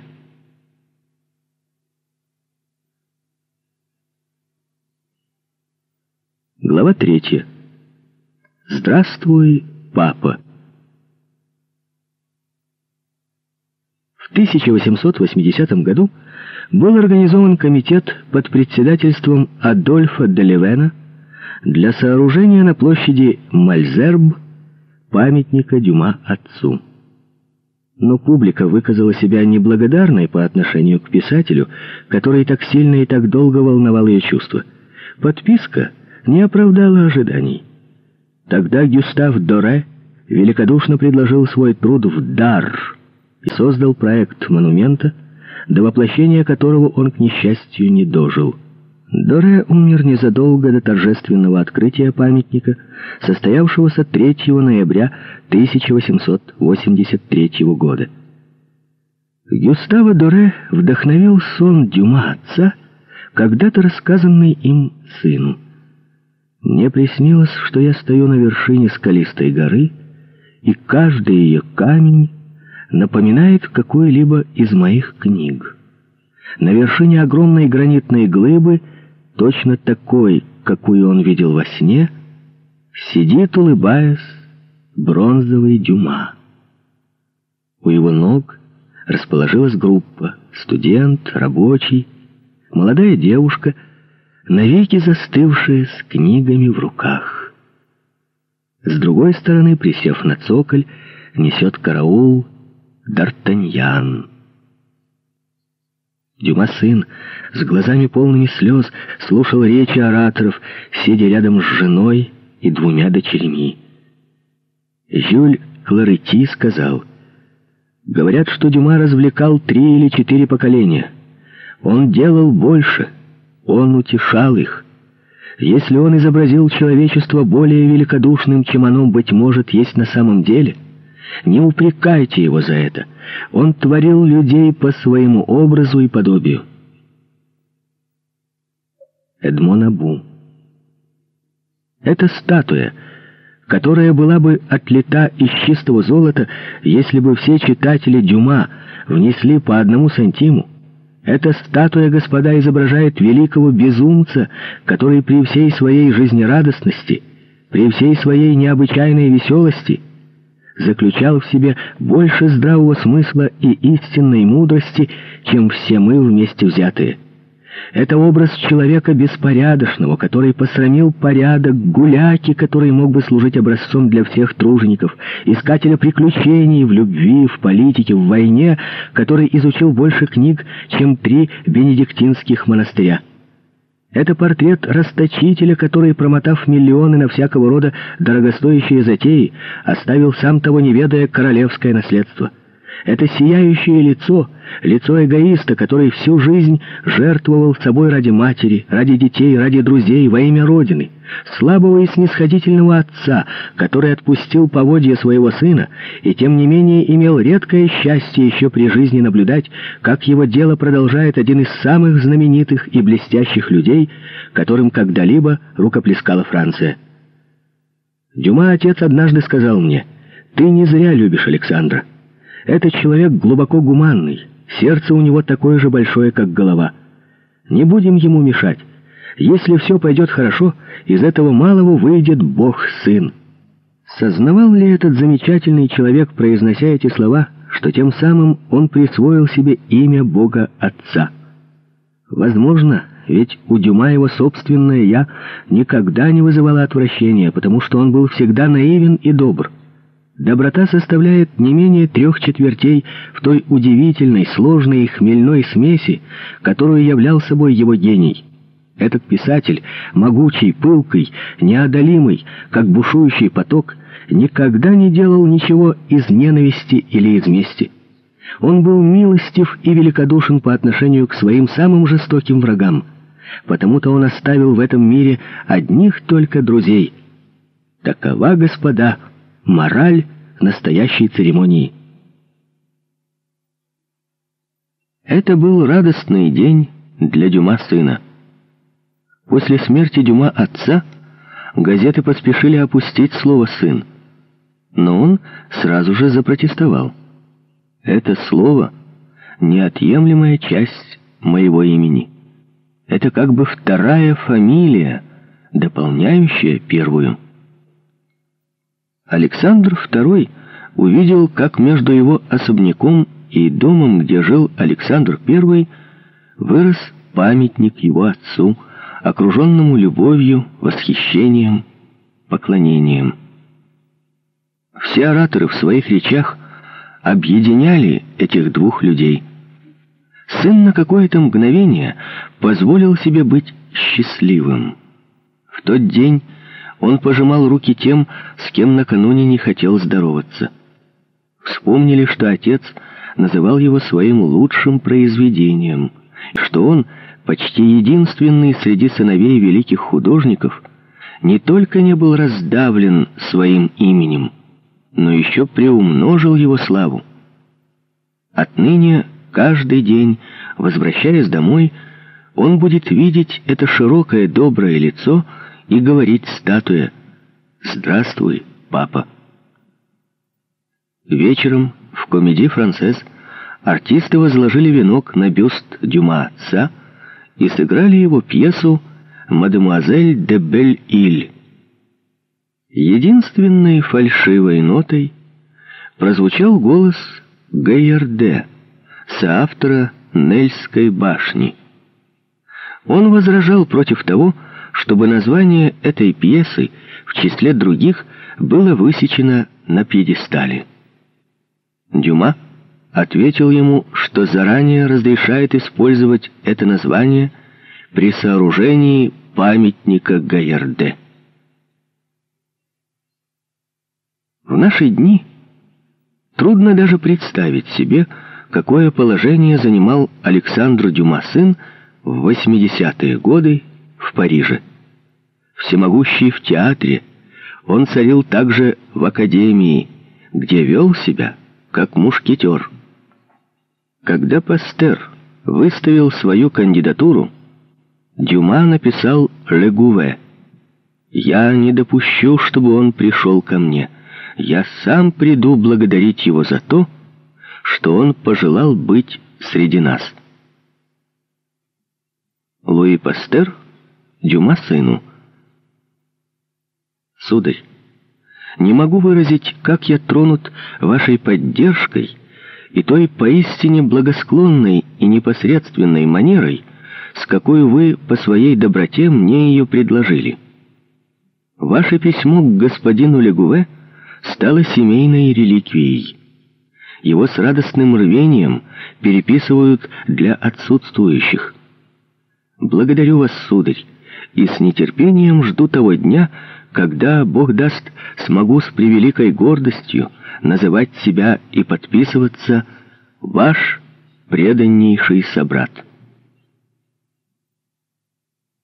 По четвергам в академии эти два человека, которых тянуло друг к другу, выбирали себе места по соседству. Пастер оценил чуткость этого сердца, которое открывалось тем шире, чем достойнее был повод. Однажды Дюма, слушая прения, сделал из листка бумаги птичку. Пастер — выпросил у него эту игрушку для своей внучки. Дюма отдал ему птичку, написав на крыле «Одна из моих героинь пока неизвестная». Пастер знал, что Дюма, когда ему сообщали о чьем-то действительно бедственном положении, бывал щедр. Он слыл прижимистым. Враги прозвали его не слишком блудным сыном. И эти слова они приписывали Жорж Санд. Это ложь. Госпоже Санд лучше, чем кому-либо, было известно бескорыстие человека, который написал за нее множество пьес и отказался от гонорара. Наученный горьким опытом отца, Дюма сын считал деньги – благоразумие, не скупость. Врагов у него хватало. Его остроты, подчас жестокие, оскорбляли людей. У своего приятеля, барона Эдмона Ротшильда, он однажды спросил, «Не от того ли, что я написал «Полусвет», вы сажаете меня за один стол с моими героинями?» Госпоже Эдмон Адам, Жюльетте Ламбер, которая хотела свести его с Анри Рашфором, он написал «Дорогой друг, говорю вам совершенно откровенно. Этот человек, вечно восстающий против всех и вся, только потому, что все и вся стоят выше его, человек, оскорбляющий всех и вся только потому, что он всех и вся ненавидит, Человек, который брызжет ядовитой слюной на своих прежних друзей, когда не может их укусить. Человек, самым своим существованием, обязанный людям, которых он готов убить, чья признательность тем, кто его спас, выражается не иначе, как руганью и клеветой, человек, выпускающий гнусную газету и сознающий, что она гнусная – только ради того, чтобы зашибить деньгу и обеспечить себе благополучие, которым он попрекает других? Этот человек достоин презрения и презираем по заслугам. Вы обладаете способностью дышать в подобной атмосфере. Это особое органическое свойство. Что касается меня, то я выбил бы стекла, чтобы глотнуть воздуха.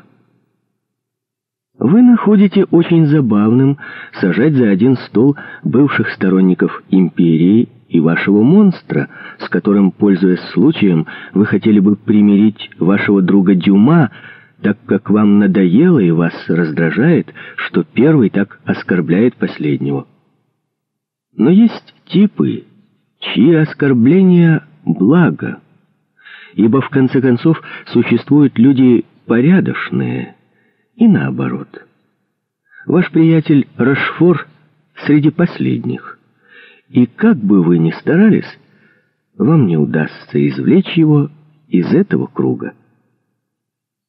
Что может делать такое чистое и светлое существо, как вы, в обществе этого детища хаоса и грязи?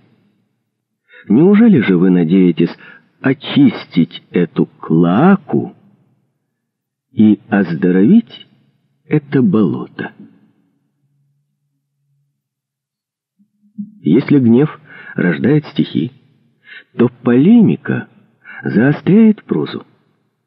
Однако остроты Дюма, в то время приносившие ему все большую славу, нередко кажутся нам посредственными.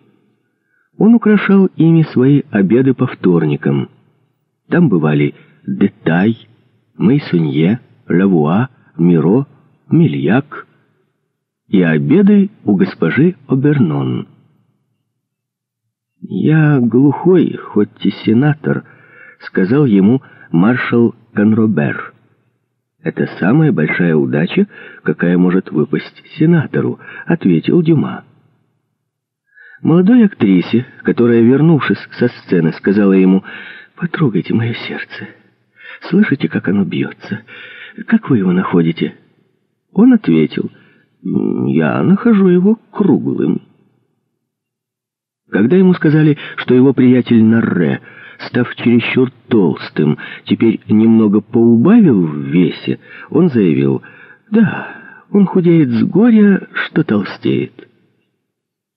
Принцу Наполеону, который за глаза поносил одну из его пьес, а при встрече с автором поздравлял его с удачей, он заметил, «Ваше Высочество поступили бы лучше, говоря другим о достоинствах моей пьесы, а мне о ее недостатках». Так как его пьесы все еще шли с успехом, новые постановки всецело занимали и молодили его знаменитому стареющему писателю отрадно предоставить свой опыт и свое мастерство в распоряжение молодого человека, которым он был когда-то. Теперь даму с камелиями играла Сара Бернар. В этой роли она была неподражаема и всякий раз вносила что-то новое. Когда по ходу действия пьесы понадобилась гербовая бумага, она симпровизировала. «Не ищите, у меня ее сколько угодно». Дюма сын ее баловал и задаривал конфетами с ликером, которые она очень любила. Когда комедий «Францесс» возобновила иностранку, Дюма настоял, чтобы роль, которую играла Сара, поручили Бланш Пирсон. Роль Круазет получила Барте. Пьеса зазвучала по-иному, пожалуй, даже лучше. Драматург понимает, что жизнь пьесы зависит не только от нее самой, но и от прочтения, и ему приятно сознавать, что после его смерти его произведения будут меняться, а значит, жить. Комедия францеза стала теперь, как в свое время жимназ, домом Дюма сына. Смерть генерального комиссара Эмиля Перрена была для Дюма большой утратой. Этих двух людей, холодных и высокомерных, связывала прочная дружба. Когда Перен заболел неизлечимой и мучительной болезнью, Дюма часто приходил к нему, стараясь его ободрить. В один июньский день 1885 года Перен послал сказать Дюма, что он хочет как можно скорее увидеть его. «Я умру с минуты на минуту. Я хотел бы пожать вашу руку, проститься с вами и поблагодарить вас за последнюю большую радость моей жизни — успех Денизы». Вернувшись домой, Дюма сказал своей дочери, «Нельзя умереть более стойко, чем он». Другим горем была смерть Адольфа де Левена, старейшего друга семейства Дюма. Страдавший раком желудка, Левен отказался от пищи и умирал с голоду, окруженный своими четырьмя собаками, которые лизали ему руки, и птицами, певшими в большой вольере. Дюма приходил к нему три раза в день. «Как вы себя чувствуете?» — спрашивал он. «Как человек, уходящий из этого мира». Я уже предвкушаю иной мир. Я прожил достаточно. Ничто из нынешних событий меня не занимает. Дюма требовал, чтобы он принял хоть немного пищи. Зачем? Мне выпало счастье умирать без мук. Если я восстановлю свои силы, кто знает, что со мной будет потом. В свои 82 года Левен был худощавый, стройный старик с удлиненным, чуть красноватым лицом. Он носил слегка набекрень шляпу с очень высокой тульей, большой отложной воротник и длинный галстук, несколько раз обвязанный вокруг шеи. Он одевался так же, как во времена Луи Филиппа. Его борода в 80 лет упрямо оставалась черной. Нервный, раздражительный, он, тем не менее, отлично ладил сначала с Дюма отцом, а потом и с Дюма сыном. Он сделал Дюма сына своим единственным наследником и оставил ему свое имение Марли в память тех счастливых лет, что они провели там вместе. Он приказал Дюма держать у себя его лошадей до их естественной смерти, чтобы им никогда не пришлось ходить в упряжке, тащить фиакр или телегу. Каждой из своих собак он назначил содержание. Отпевали его в Марли. Похоронили на кладбище Пек. Дюма произнес речь и зачитал отрывок из мемуаров Дюма отца, где автор Антони рассказывал о своей встрече со шведом, который сделал из него французского драматурга. «Все, кто знал Левена, — сказал Дюма сын, — даже те, кто впервые увидел его в последние годы жизни, сразу же узнают его в этом портрете, где он изображен молодым. Напоминая еле своей суровой северной родины, которые всегда остаются стройными и зелеными, всегда, даже когда они покрыты снегом, Наш друг до 82 лет оставался все тем же невысоким, стройным человеком с изящной осанкой, аристократически непринужденными манерами, гордым и твердым взглядом. Что касается достоинств его души и его ума, о которых мой отец так часто говорит в своих мемуарах, то с годами они только умножились.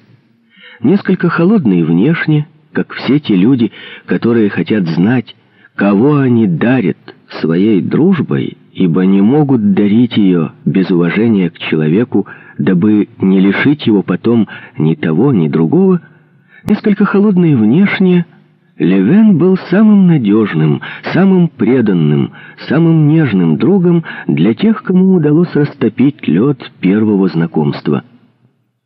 Утром 14 апреля мне показалось по некоторым признакам, что смерть решила вскоре дать ему покой, которого он от нее ждал. Я больше не отходил от него. Если бы сегодня была хорошая погода, это последние слова, которые он был в силах пробормотать, и это единственное из его последних желаний, которое не могло быть выполнено. С этой минуты только легкое пожатие руки, все более шумное дыхание, движение головы и взгляды, означавшие последнее «прости». День угас, умолкли птицы, наступили сумерки. Его спокойное лицо со строгими чертами освещал теперь лишь слабый свет ночника. Дыхание его становилось все ровнее, все реже, все тише — и мне пришлось склониться над ним, чтобы увериться, что он уснул вечным сном, без малейшего содрогания и без всякого усилия. Я закрыл ему глаза, поцеловал его и не покидал до тех пор, пока слуги, плача и читая молитвы, не одели его в костюм, в котором он пожелал покоиться вечным сном. Вот как покинул мир этот бесценный человек. Невозможно представить себе смерть более простую, более спокойную, более благородную, более достойную того, чтобы служить поучительным примером для людей беспечных и слабых. Что касается меня, то я исполнил его волю. Он покоится рядом со своей женой. Друга моего отца, которого он более 60 лет тому назад нашел на живописной дороге, окаймленной боярышником и маргаритками, я с благоговением похоронил там, где он пожелал, среди друзей, под холмом из цветов. После смерти Тейлора и Левена Остался в живых только один свидетель молодости Дюма отца, самый великий из них — Виктор Гюго. И он, в свою очередь, покинул мир в 1885 году. Дюма сын не слишком скорбел о нем. Сначала этих двух людей разъединили неприятные воспоминания, потом политика — Гюго верил в прогресс, в республику, Дюма — в упадок, в тщетность всех усилий. Театральное шествие от Триумфальной арки до Пантеона раздосадовало Дюма. Если бы произведения Виктора Гюго, сказал он, были враждебны республике, вместо того, чтобы быть враждебными империи, стихи его от этого не стали бы хуже — зато ему не устроили бы национальных похорон.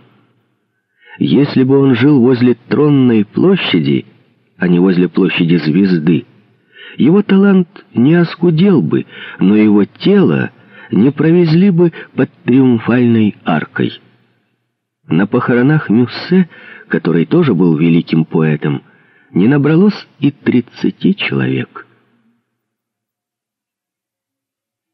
В академии по поводу похорон Гюго велись долгие споры.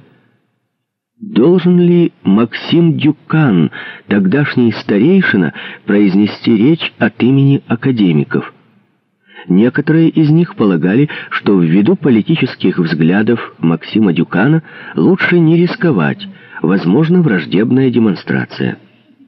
Академия, сурово изрек Дюма, должна быть выше общественного мнения – у нее есть свои правила. Пусть она их соблюдает. В этой высокомерной и воинствующей непримиримости был он весь. Глава четвертая. Франсион. На место Перрена в комедии «Францесс» пришел Жюль Кларетти, это был еще не старый, ловкий человек с крючковатым носом. Он первым ввел раздел еженедельной хроники. Его «Парижская неделя», которую печатала Тан, забавляла читателей резкими и неожиданными переходами. В комедии «Францесс» он после сурового Перрена казался бесхарактерным. Он всем все обещал. Ему дали несколько прозвищ. Фридрих Барбарис. Да, если нет. Антрепренер госпожи церемонии, Карикатуристы изображали, как он бежит по коридору, спасаясь от сосьетеров. Но он продержался 28 лет. Вступив на пост администратора, он первым делом обратился к Дюма за новой пьесой. «Гвардию! Введите в дело гвардию!» — кричал он. Дюма, последняя надежда и высочайший ум, начал для него пьесу «Фиванская дорога». Но работа подвигалась медленно. Он хотел довести замысел до совершенства. Когда ты близок к тому, чтобы покинуть этот мир, надо говорить только то, что стоит труда быть сказанным. Старость начинается в тот день, когда умирает отвага. Близился срок, назначенный им самим для передачи театру «Фиванской дороги». Дюма понял, что пьеса не может быть готова к этому времени. Однако Кларети на него рассчитывал. Как быть? Он вспоминает, что когда-то написал один акт на смелый и легкий сюжет. Женщина говорит мужу, «Если ты мне изменишь, я возьму себе любовника». Муж ей изменяет. Она едет на бал, увозит первого попавшегося молодого человека — ужинает с ним и, возвратившись домой, заявляет «Я отомстила». Это неправда, но муж верит.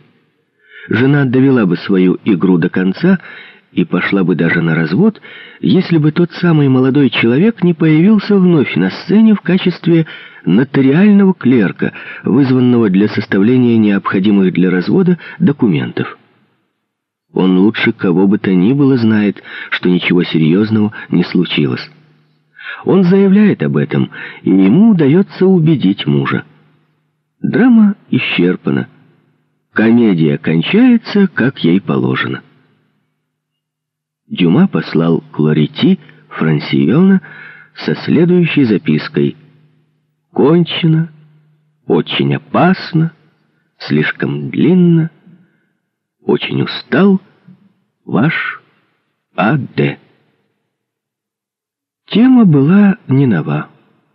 Луи Гандера когда-то давал Дюма читать пьесу «Мисс Фанфар» на тот же сюжет. Дюма перестроил ее первое действие.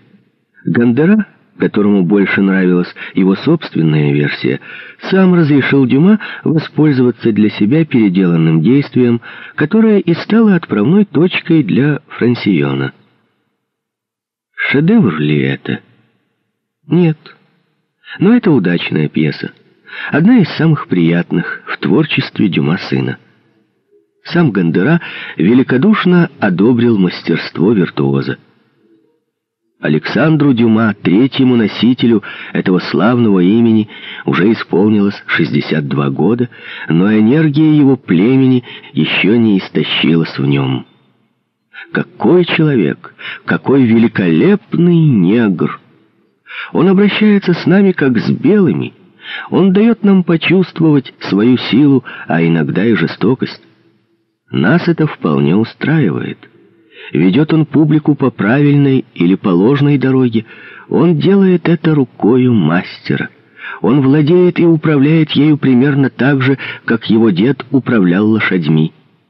Если есть какая-либо разница между молодым и сегодняшним Дюма, она состоит не в том, что теперь он слабее. Она состоит в том, что в волю насладившись своими природными данными и своим искусством, он предпочитает теперь упражнения одновременно и более простые, и более трудные. Мир, который Дюма живописал в Франсионе, был его обычным миром, где мужчины при белом галстуке из гостиной своей супруги едут в клуб, а оттуда попадают в спальню небезызвестных девиц. Фауна Дюма сына здесь представлена полностью.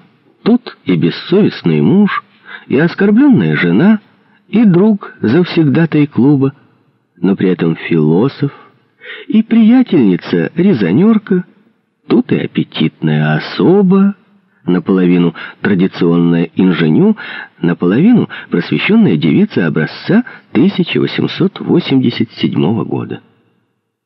Однако диалог был искрометный, действие стремительное, и публика бурно приветствовала своего покорителя.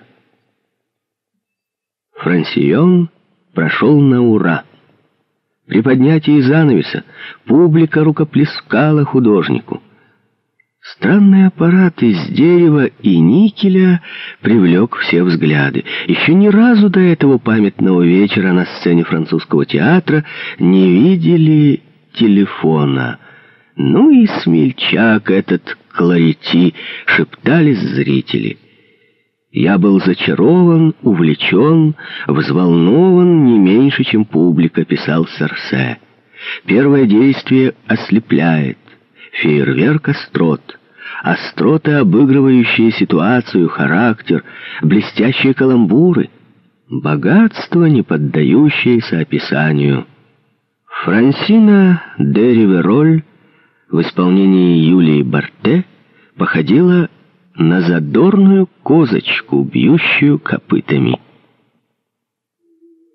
Дюма сын Юлии Барте.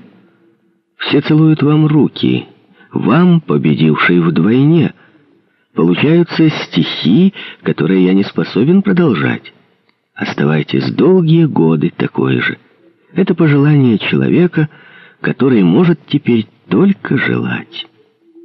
«Ах уж этот Дюма, этот Дюма!» — злословили в гостиных. «Он хочет убедить нас в том, что светская женщина, будучи обманута мужем, способна подцепить первого встречного и на другой же день начать хвастаться тем, что стала любовницей этого незнакомца. Ну и история».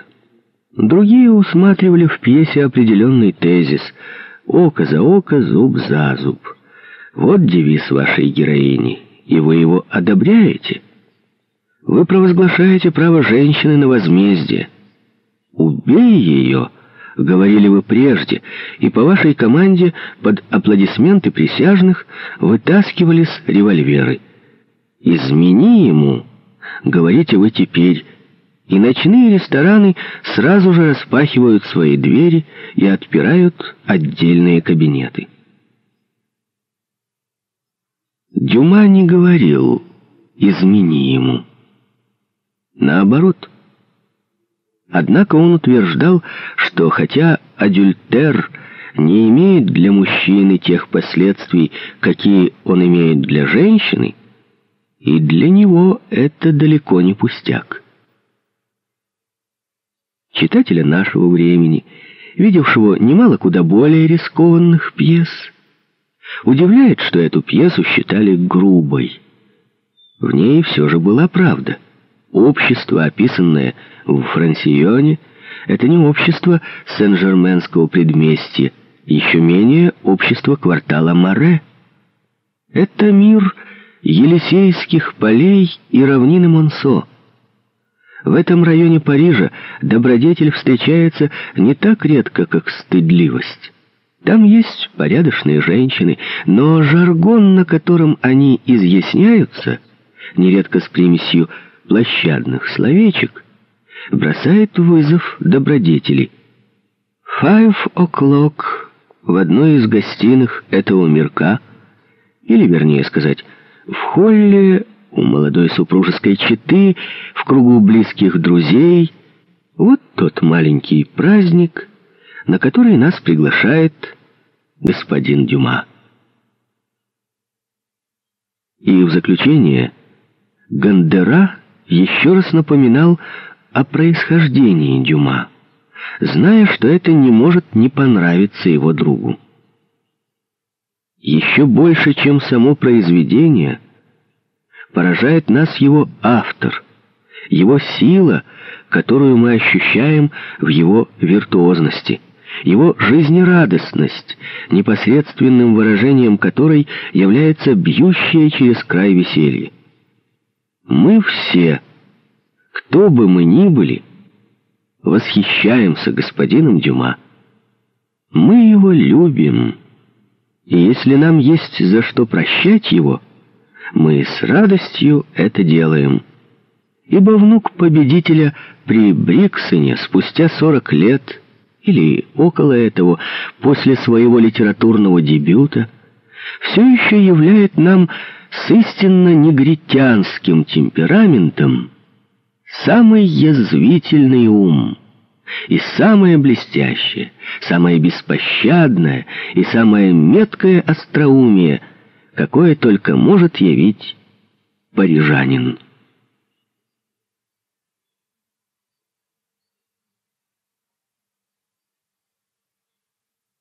Глава пятая.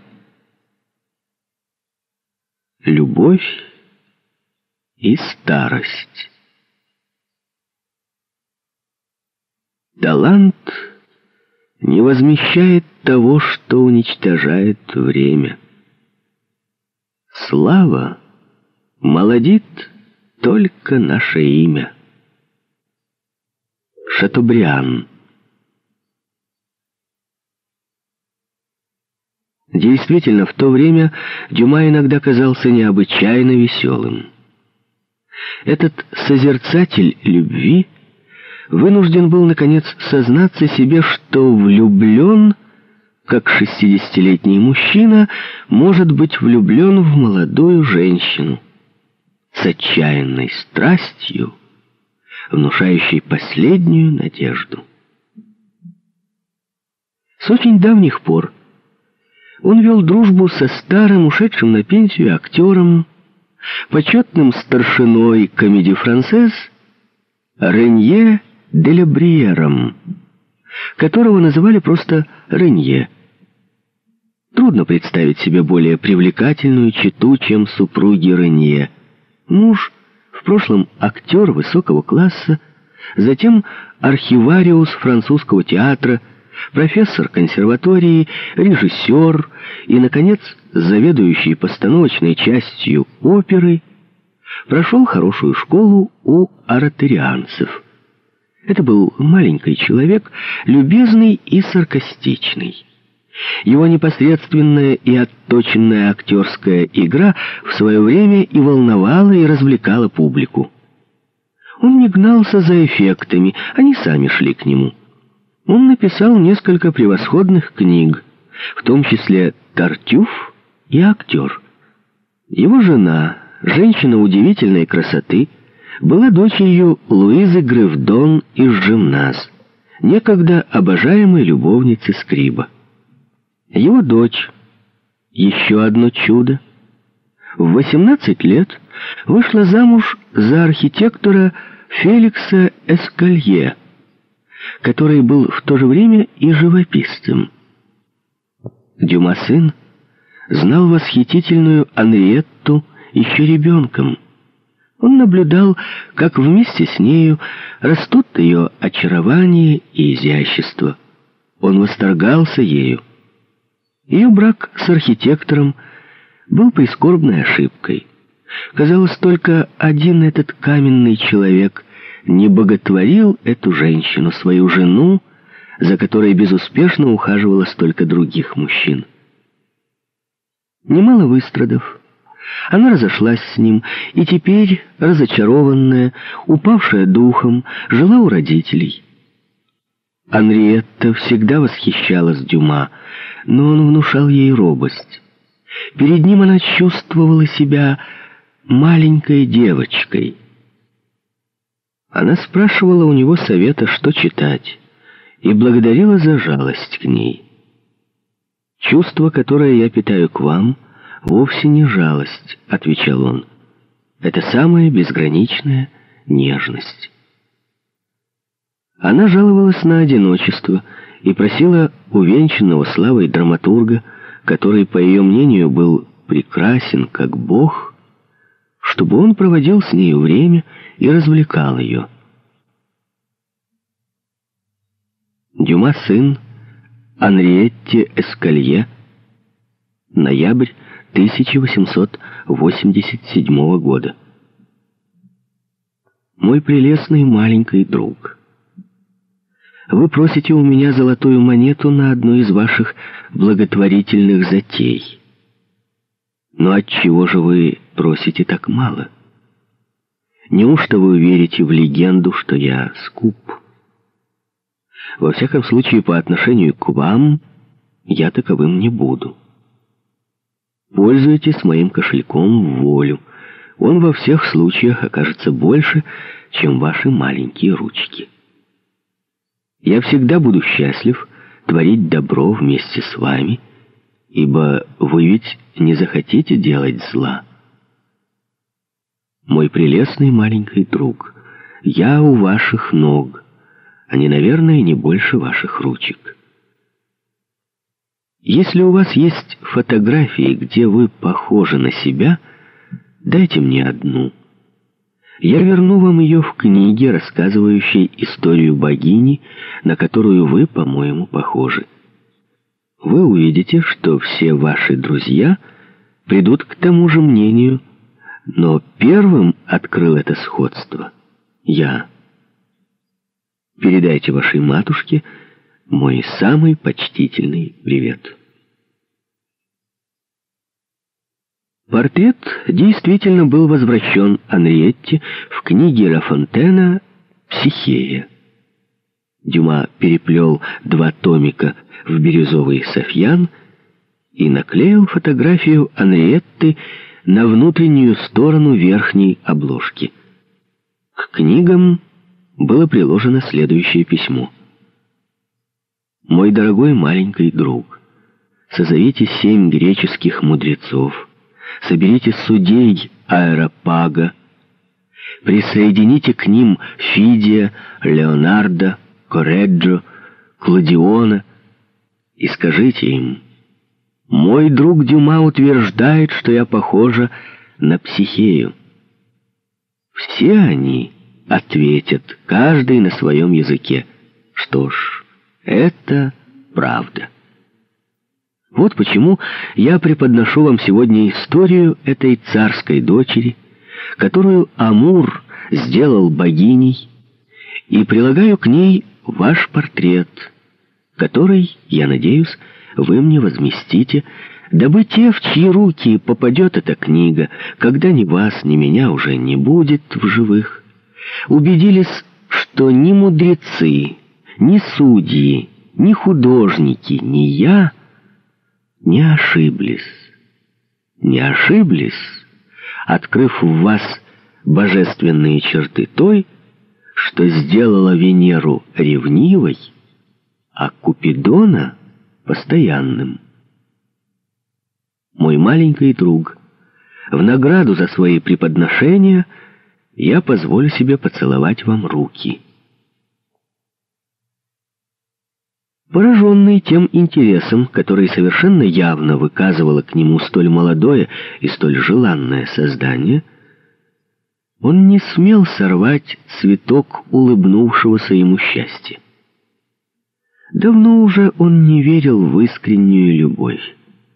Стоило ему начать анализировать чувства какой-нибудь женщины, как он обнаруживал гордость, тщеславие, потребность в защите, но никогда не находил той абсолютной и гордой верности, которая все еще оставалась для этого седовласого человека юношеской мечтой.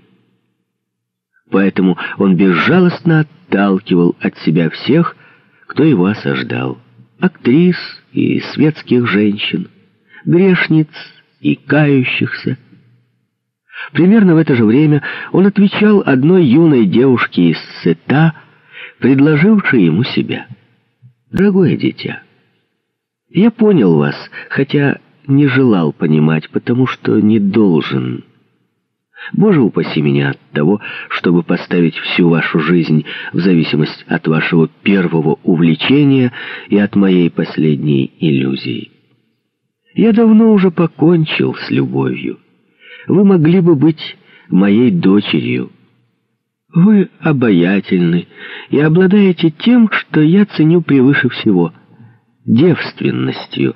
Я не сделаю вас похожей на других женщин — не ввергну во все беды весь ужас падения и раскаяния. Я слишком хорошо знаю, что это такое и к чему ведет. Я не хочу, чтобы вы имели повод когда-либо жаловаться на меня или краснеть за себя. В сердце моем я отвел вам достойное место, единственное, какое вы можете занять там с честью. Не искушайте меня на что-либо, превышающее дружбу. Вам принадлежит то, что есть во мне лучшего. Обнимаю вас. Однако Анриетта Эскалье, искренне влюбленная, ослепленная авторитетом, славой и внешностью Дюма сына, не теряла надежды победить его сопротивление. Ее решимость укрепляли сведения о раздорах в семье Дюма, о княгине с расстроенными нервами, о том, что отношения Дюма с Аттилией Флаго, которая стала бабушкой, приняли характер дружбы, и она отважно устремилась на приступ своего героя. В 1885 году Ренье умер, и Дюма теперь часто виделся с его женой и дочерью, удрученными скорбью, помогал им советом и делом. Вскоре он уже не сомневался в возможности одержать победу. Отцветы ее горели в глазах Анриетты. Победа? Не было ли это для него скорее поражением? Конечно, его искушало лучезарное лицо Анриетты, ее восхитительное тело, пленительная молодость. Воспоминания о маленькой девочке, которая еще так недавно плескалась в море, у него на глазах, невинная и не осознавшая себя, смешивались с образом находившейся рядом цветущей женщины. Но что сулит Анриетте, думал он, связь со старым любовником, слишком хорошо знающим женщин, чтобы не испытывать безумной ревности? Как она сможет вынести грусть, мизантропию, приступы отчаяния сложной натуры художника, считающего, что у него уже не хватает дыхания? он навсегда запомнит одну дату. 13 апреля 1887 года. День, когда она отдалась ему после первого поцелуя. 13 апреля 1887 года я слил свою судьбу с твоею на твоих губах. Она могла бы ответить, как Джульетта. Я была слишком нежна, и вы, пожалуй, могли опасаться, что, когда вы на мне женитесь, мое поведение станет очень легкомысленным. Я все время спрашивал себя в тот день, искренне ли это смятение или наигранно, или же с тобою так бывает всегда, и надо было только решительно подойти к тебе, чтобы взять». Ах, если я впервые смутил твои чувства, то ты могла бы похвастать тем, что впервые посрамила мои психологические познания, ибо ты единственная женщина, которую я не могу постичь. Единственная. О, наивность Оливье де Жалена! Позднее он старался увидеть в той удивительной легкости, с какой Анриетта предложила ему себя счастливое предзнаменование. Когда меня охватывают сомнения, непосредственность, с какой ты отдалась мне душою и телом, убеждает меня в твоей невинности. Женщина, которая уже отдавалась другому мужчине, не отдалась бы так скоро. Она опасалась бы, что, уступив так легко, вызовет подозрение и выдаст себя. Дюма сын Анриетти Ренье, октябрь 1887 года. До чего мы дойдем таким путем? До какого решения? До какой катастрофы? Я ничего об этом не знаю. Прошло уже полгода с того дня, как ты бросилась в мои объятия с тайным предчувствием, что во мне твое счастье и несчастье. Все мои силы и весь мой ум в течение того времени, что мне осталось жить, я употребляю на то, чтобы сделать тебя счастливой. Не спорь, не задавайся вопросами, не мучай себя. Живи, не думая, и позволь обожать тебя как женщину, как ангела, как богиню, как ребенка, как мне захочется. Ты больше не принадлежишь себе. Ты хотела иметь повелителя, и у тебя не может быть лучшего, чем тот, что есть. Чувствуешь ли ты, что ни одно создание в этом мире не любимо так, как ты?» Он действительно любил ее так, как не любил никого со времен Марии Дюплесси и Лидии Нессельроде. Даже сильнее, ибо Анриетта Ренье больше всех походила на ту сильфиду, которую он, как многие мужчины, тщетно искал. Ты неожиданно вошла в мою жизнь, дав моему идеалу самое лучезарное воплощение. Ты была для меня не только женщиной, которую я обожал с момента ее появления, но и той, которую я всегда обожал в тайне, вопреки всем образом, какие принимала человеческая самка, стоявшая между мной и ею. Это была большая физическая страсть. Благодаря Анриетте он узнал на закате жизни счастье приходить с трепетом на свидания, которых она никогда не пропускала. К пылу любовника примешивалась почти отеческая нежность, с какой он опекал это молодое существо, следил за ее здоровьем, ее поступками. Если ему случалось присутствовать при том, как Анриетта, выйдя из себя, говорила резкости матери, которую она, тем не менее, обожала, он писал ей на другой день, предупреждая, что со временем она жестоко раскается, что огорчала госпожу Ренье. В 1890 году Анриетта развелась с мужем. Поскольку она уже много лет не жила со Скалье, она, несомненно, надеялась сразу же связать свою жизнь с Дюма. Но как он мог на ней жениться?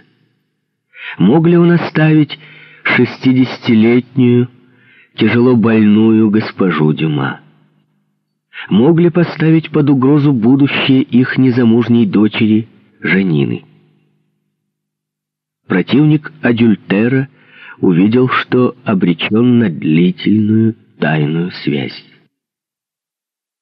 Глубоко тревожась за репутацию своей возлюбленной, он обставил свои отношения с ней наивными предосторожностями, и телеграммы, которые посылал ей, когда разлучался с нею, уезжая на отдых, подписывал именем Дениза. Счастье его отравляло, как всегда в этом мире, полном разлада, смутное недовольство собой. Эта любовь, на которую у него уже не хватало сил, взбаламутила его жизнь, а ведь он хотел, чтобы она была безупречной. Вот уже семь лет, писал он в 1893 году, как не было ни единого часа, чтобы я не думал о тебе. Если бы звезда упала в море, она не произвела бы большего волнения, чем произвела ты, ворвавшись в мою жизнь.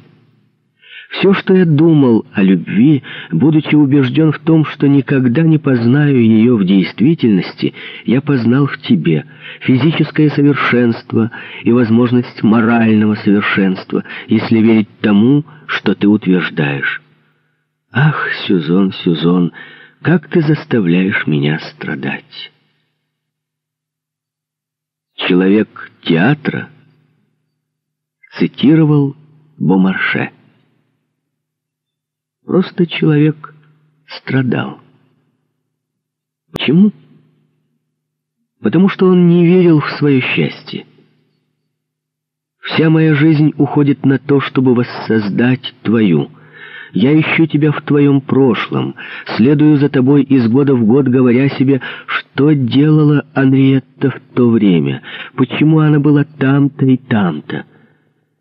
И если мне что-нибудь не ясно, Если ты, как Феба, у которой ты позаимствовала перламутровую белизну, скрываешься за облаком, я терзаюсь подозрениями, тревожусь, страдаю. Госпожа Ренье сняла налито домик в Леон-Сюрмер, и дочь поехала туда с нею. Анриетта скучала на этом курорте, где безраздельно царила жип. Дюма опасался молодых людей, игр на песке и в воде, ловушек, которые расставляет безделье. Чтобы успокоить его, Анриетта послала ему свой девичий дневник, где она уже много говорила о нем. Дюма сын, Анриетти Ренье, 22 сентября 1893 года. Напрасно ты не любишь море. Ведь как раз у моря я увидел тебя в первый раз на твоем ослике в 1864 году. Так начинаются английские романы. Почему Бог не дал себе труда спуститься и шепнуть мне на ухо в один прекрасный день «Эта девочка полюбит тебя, береги себя для нее». И тебе какой-нибудь ангел мог бы сказать, со временем этот человек будет бесконечно обожать тебя, береги себя для него. Бог не сделал того, что должен был бы сделать. Ангел прошелестел крыльями над тобой, не сказав ни слова, но ты все же заметила его, и у тебя осталось предчувствие. Когда я возвращаюсь к твоему прошлому, благодаря тетрадям, которые ты мне дала читать, письмам, с которыми ты меня познакомила, я время от времени встречаю там свое имя. Оно притягивало тебя все более и более, пока ты не упала в мои объятия, чтобы никогда уже из них не вырваться». Но, несмотря на эти трогательные предвестия, он продолжал терзаться. За свою жизнь он наблюдал столько поводов для ревности, что клятвы Анриетты ничуть его не успокаивали. В самом деле, твои письма говорят за то, что это был первый раз, но Меркурий так коварен, а ты настолько женщина, от корней волос до кончиков ногтей — к кому он ревновал? К мужу? Меньше всего. Тот, кому-то была отдана в 17 лет, не ведая, что за этим кроется, ничего для меня не значит. Нет, он ревновал к мужчинам, которых она могла выбирать сама. К композитору Паладиль, который обучал ее пению, к салонным тенорам. Одинаково ревновал к прошлому и к настоящему, ужасно страдая при мысли о малейшем осквернении. Она упрекала его в несправедливом недоверии к ней, в то время как она силилась избегать всех искушений и покушений. Он оправдывался. Мог ли он быть другим. Я никогда не видел вокруг себя ничего, кроме порока, лжи, разложения во всех видах и формах.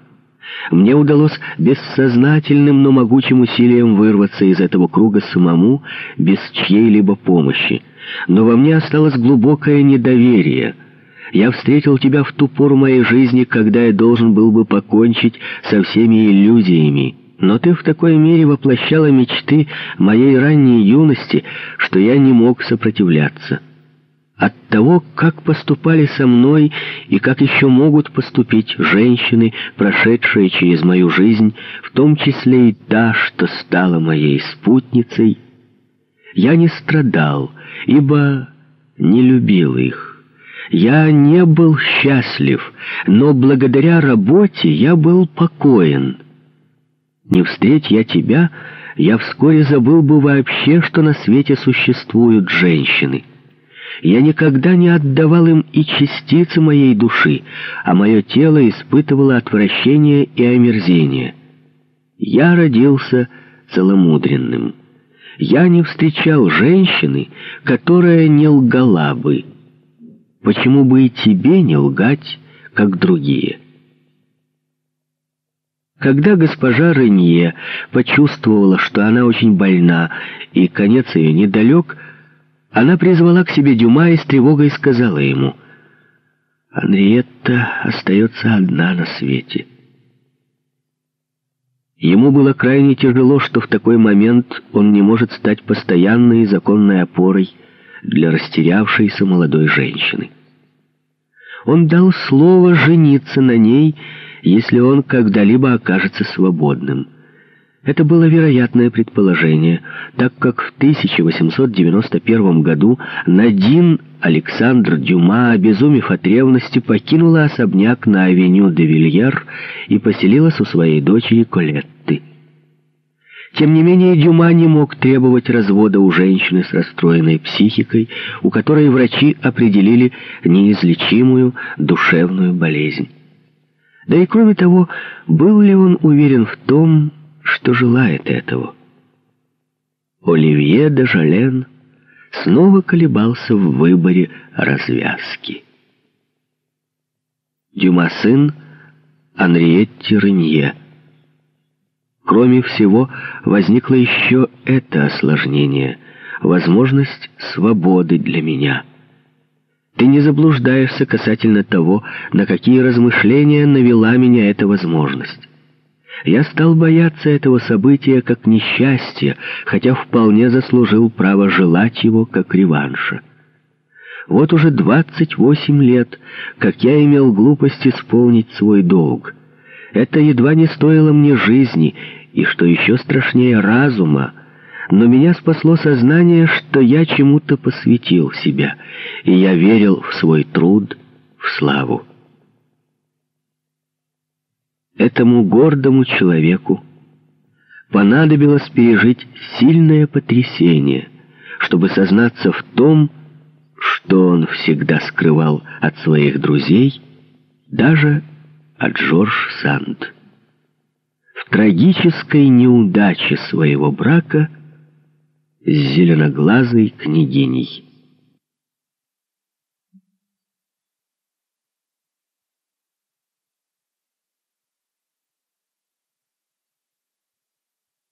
Глава шестая.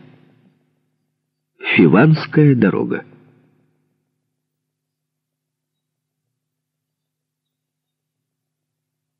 После Франсиона Дюма не написал ни одной новой пьесы. Восемь лет молчания — большой срок для знаменитого драматурга, находящегося еще в расцвете сил и настойчиво осаждаемого лучшими театрами. Но этого великана всегда легко было обескуражить. Внезапно нападавшая на него усталость напоминала неожиданные приступы подавленности, которые переживал в Италии и в Египте его дед-генерал. Семилетнего возраста, говорил он молодому Полю Бурже, я сражаюсь с жизнью. В моем тоне не надо искать меланхолии. Это усталость. Бывают моменты, когда я сыт всем этим, сыт по горло, и я охотно улегся бы лицом к стене, чтобы не слышать больше никаких разговоров, в особенности разговоров обо мне. Его интимная жизнь — усугубляла его мрачность. Но, кроме того, он сомневался и в своем искусстве. Некоторые из его младших собратьев преследовали его ядовитой ненавистью, в которой была и доля зависти. В кулуарах французского театра, поставившего недавно парижанку, Анри Бек, коренастый, с жестким взглядом из-под густой соломы бровей, с усами-щеткой и кривой усмешкой, читал эпиграммы, пересыпая их звучными «А? Каково?» Как было два Корнеля, так есть и два Дюма. Но эти двое схожи не с Пьером, а с Тома. Дюма ответил на это. «Тома Корнель, прости за дерзость Бека, ему и Пьер Корнель не по зубам». Зевает Бек. Так повелось от века, когда зевать всех заставляешь сам. Однако, если Бек находил горькую сладость в таких шутках, то Дюма, уставший от всего, считал их жалкими и пустыми. Он слишком хорошо знал, что восходит звезда Бека и Ипсена. Он знал, что молодые критики теперь с презрением говорят о хорошо сделанной пьесе, слишком хорошо сделанной. Успех его прежних пьес, свадебного визита, в котором Барте играла вместо Декле и талантливо выплевывала знаменитое «Фу», друга женщин, где она воплощала Джейн де Симроз, умело соединяя нежность и дерзость, не вернул ему веры в себя. Старая пьеса, не новая. Он написал одно действие пьесы «Новое сословие», о котором говорил «Это будет мой Фигаро», и четыре действия Фиванской дороги, где их должно было быть пять. Но так и не закончил ни одной из этих пьес. Дюма сын Полю Бурже. Я снова взялся за Фиванскую дорогу, но я не вижу развязки и очень боюсь, что никогда ее не увижу. Нет больше ни энтузиазма, ни увлеченности.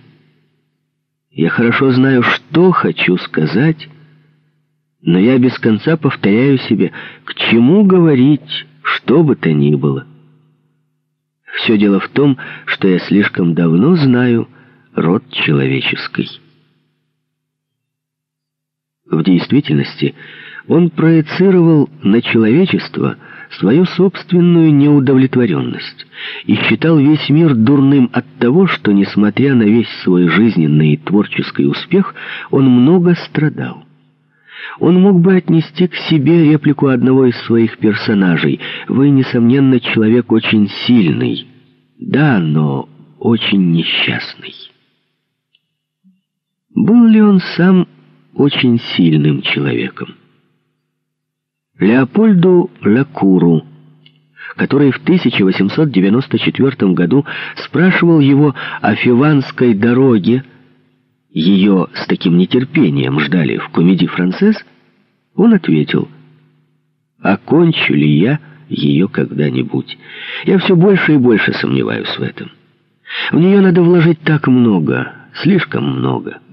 Для театрального писателя, который стремится не только развлекать зрителя, но и заставить его думать, ибо сам он думал, жизненный опыт со всеми размышлениями, которые он влечет за собой, понемногу становится чересчур требовательным советчиком. Ведь у него уже нет той бесстрашной уверенности в себе, которая двадцатью годами раньше, возможно, позволила бы ему удовлетворить эти высокие требования.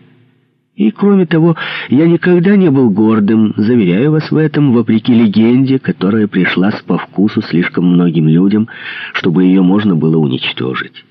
Но все-таки, даже не будучи слишком самоуверенным, я мог бы строить себе иллюзии насчет действительной ценности моих произведений, мог бы надеяться, что, умирая, не все их унесу с собой, я мог бы заблуждаться по причине, боже мой, да, по причине моего успеха, а в особенности из-за того уважения, которое выказывали мне светлые и могучие умы, как, например, Тен. Однако я вижу, как меняется вкус публики, как одна часть молодежи переходит на сторону Бека и его учеников, другая приветствует Ипсена. Я присутствую при том, как приходят в упадок определенные формы искусства. Мой театр, весь мой театр погибнет. Его отец тоже говорил подобные вещи в последние месяцы жизни. Но рядом с Дюма отцом, утешая его, находился сын, который им восхищался. Леопольд Лакур был растроган слабой и печальной улыбкой, которой сопровождались эти признания. Он сказал старому мэтру, что даму с камелиями, полусвет будут играть всегда, Разве Сара Бернар не возобновила с успехом жену Клавдия? Разве некий критик не писал «Дюма был Ипсоном до Ипсона»? Грустная улыбка появилась снова. «Вы говорите искренне», — сказал Дюма, — «и я вам благодарен. Но только я жил слишком долго». Я слишком часто видел, как удача возвращается к человеку, чтобы потом покинуть его снова уже навсегда. Наверное, только Саре, она много выше Декле, я и обязан этим реваншем, и было бы неблагоразумно считать его окончательным. Победы великих артистов, неожиданно возрождающие уже погибшую пьесу, сладостны для автора. Они не должны вводить его в заблуждение — Ему надо знать, подтвердит ли их будущее. Что стало с драматургией Вольтера? Ее теперь даже не читают.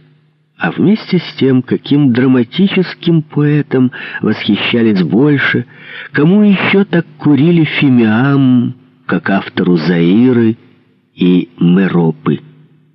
Да и означает ли это продолжение жизни для драматурга, если у него еще находятся читатели, и если в том некрополе, который нередко представляет собой история литературы, красуется, с позволения сказать, его памятник в прозе. Продолжать жить в искусстве для такого автора не значит остаться в книгах. Это значит жить на сцене, по крайней мере, в двух или трех подлинных шедеврах. И во французской драматургии XIX века я нахожу едва три-четыре таких шедевра. Это не оперы Виктора Гюго. Их словесное великолепие не спасет их для вечности, нет. Это некоторые комедии Мюссе. Я ничего не говорю о моем отце. Его талант был так же присущ ему, как хобот слону.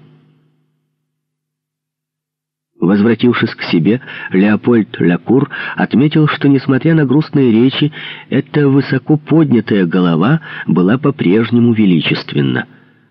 Холодный блеск его светло-голубых глаз не потускнел — слегка покачивающаяся походка, когда-то модная, напоминающая идеал изящества во времена Наполеона III, заставляет его по-военному резко размахивать руками. Стало все-таки несколько меньше гибкости в движениях этого кавалера. Речь его теперь не так стремительна. Меланхолия сгущала сумерки этой жизни, прежде казавшейся столь блестящей.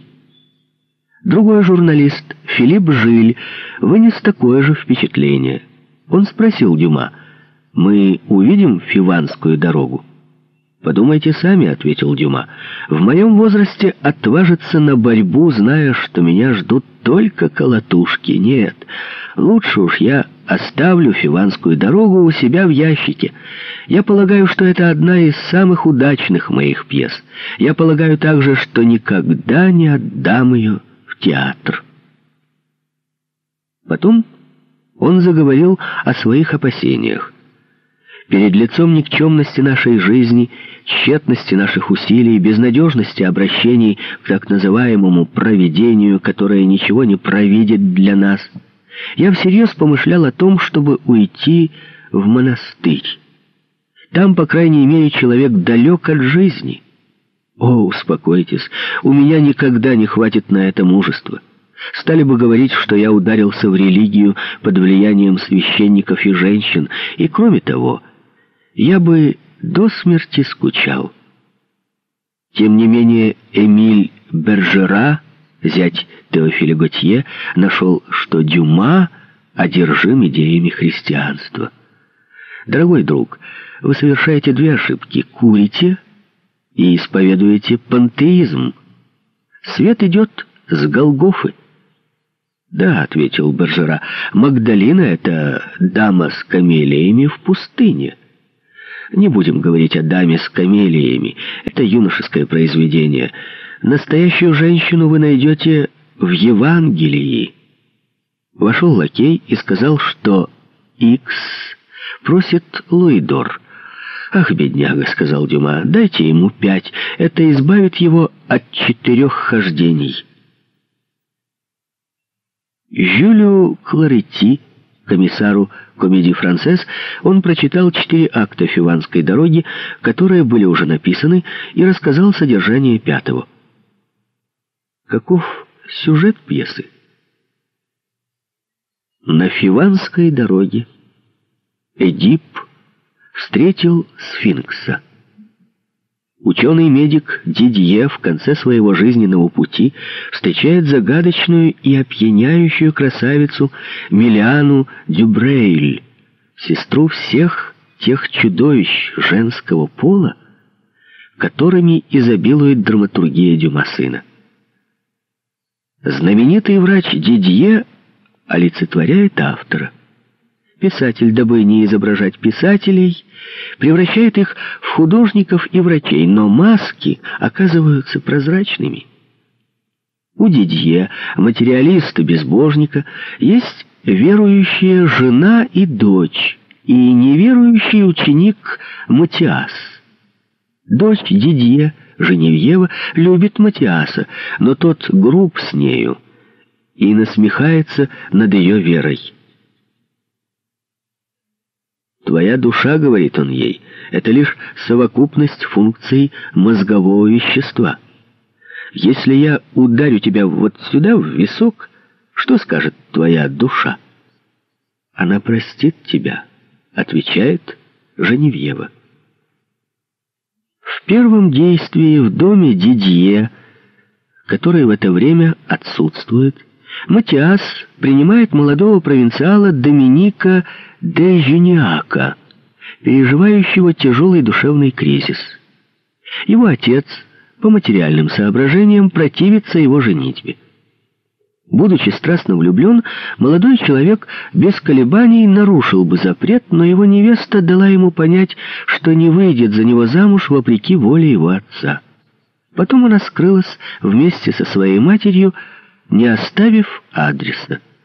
Доминик разыскивает беглянок в Париже, где, как он подозревает, они прячутся. Он сообщает врачу свою навязчивую идею — овладеть любимой девушкой или убить ее. Матиас дает чрезмерно возбужденному юноше несколько добрых советов и отпускает его, ни в чем не убедив. Возвращается доктор Дидье, и почти в ту же минуту на улице раздаются выстрелы. Матиас бросается к окну и узнает в стрелявшем Доминика. Тот убегает. Вводят пострадавшую, очаровательную молодую девушку. Дидье осматривает ее. Рана не опасна. Доктор предлагает девушке остаться у него в доме до выздоровления. Появляется полицейский комиссар. Выясняется, что имя молодой особы Миллиана Дюбрейль. Ей 20 лет. Ее мать уклоняется от прямого ответа. Она якобы не знает стрелявшего. Она дает заведомо неверное описание молодого преступника. Три недели спустя, во втором действии, выздоровевшая Миллиана вместе со своей матерью живет в загородном доме Дидье. Никто и не помышляет об отъезде. Дидье поручает Миллиане переписывать его труды. Матиас охотно беседует с нею на философские темы. Женевьева признается своей матери, что ревнует к незнакомке. Госпожа Дидье умоляет мужа не оставлять у них этих двух женщин — он просит совета у Матиаса, который отвечает, «Вы влюблены в Миллиану, сами того не зная». И действительно, доктор, которому и в голову не приходит просить девушку уехать, говорит ей, «У меня есть потребность чувствовать ваше присутствие». Возмутительница спокойствия соглашается отложить свой отъезд. Тем временем Дидье принимает делегацию скандинавских студентов, прибывшую засвидетельствовать ему свое почтение. Руководитель делегации по имени Стефен производит на учителя прекрасное впечатление, и он невольно начинает думать о том, что такой славный парень мог быть прекрасным мужем для его дочери Женевьевы. Проходит два дня. В третьем действии снова появляется Доминик де Жюниак. Отец его умер. Теперь ничто больше не препятствует его женитьбе. Матиас спешит сообщить об этом Миллиане — Та, неприятно удивленная, решительно отказывается выйти замуж за человека, который хотел ее убить. Доминик размахивает на сей раз не револьвером, а письмами своей невесты, как будто бы очень нежными и обличающими известную близость. Тогда Миллиана смело нападает на Матиаса. «Вы принимаете меня за сфинкса и стараетесь разгадать мою загадку. У меня ее нет». Вы уверены, что я полна коварных и преступных замыслов? Вы ошибаетесь. И все же ассистент ее спрашивает, как бы она поступила, если бы ей предложили 500 тысяч франков с тем, чтобы она убралась отсюда. Она холодно отвечает, потребовала бы миллион. Четвертое действие. Женевьева изливает перед отцом душу, поверяет ему свое смятение. В ее сердце закрались сомнения. Она спрашивает ученого, что находится за гранью этой жизни? Неизвестность. Неужели твоя рука не подтверждает ни одну из надежд, которые нам дает религия? Ни одну. Это может привести в отчаяние? Иногда. Тем не менее, Дидье удается утешить дочь, и она уходит от него несколько успокоенная. Потом она обращается к неизменно загадочной Миллиане. Конечно, она заметила его восхищение. Она даже заявляет ему, что готова сделать все, что он захочет. Все. И он отвечает, «Я люблю вас. Вот уже три недели, как благодаря вам я снова чувствую себя двадцатилетним, а ведь в свое время я и не заметил, что мне было двадцать. Вы молоды, а я уже нет. Вы свободны, я нет.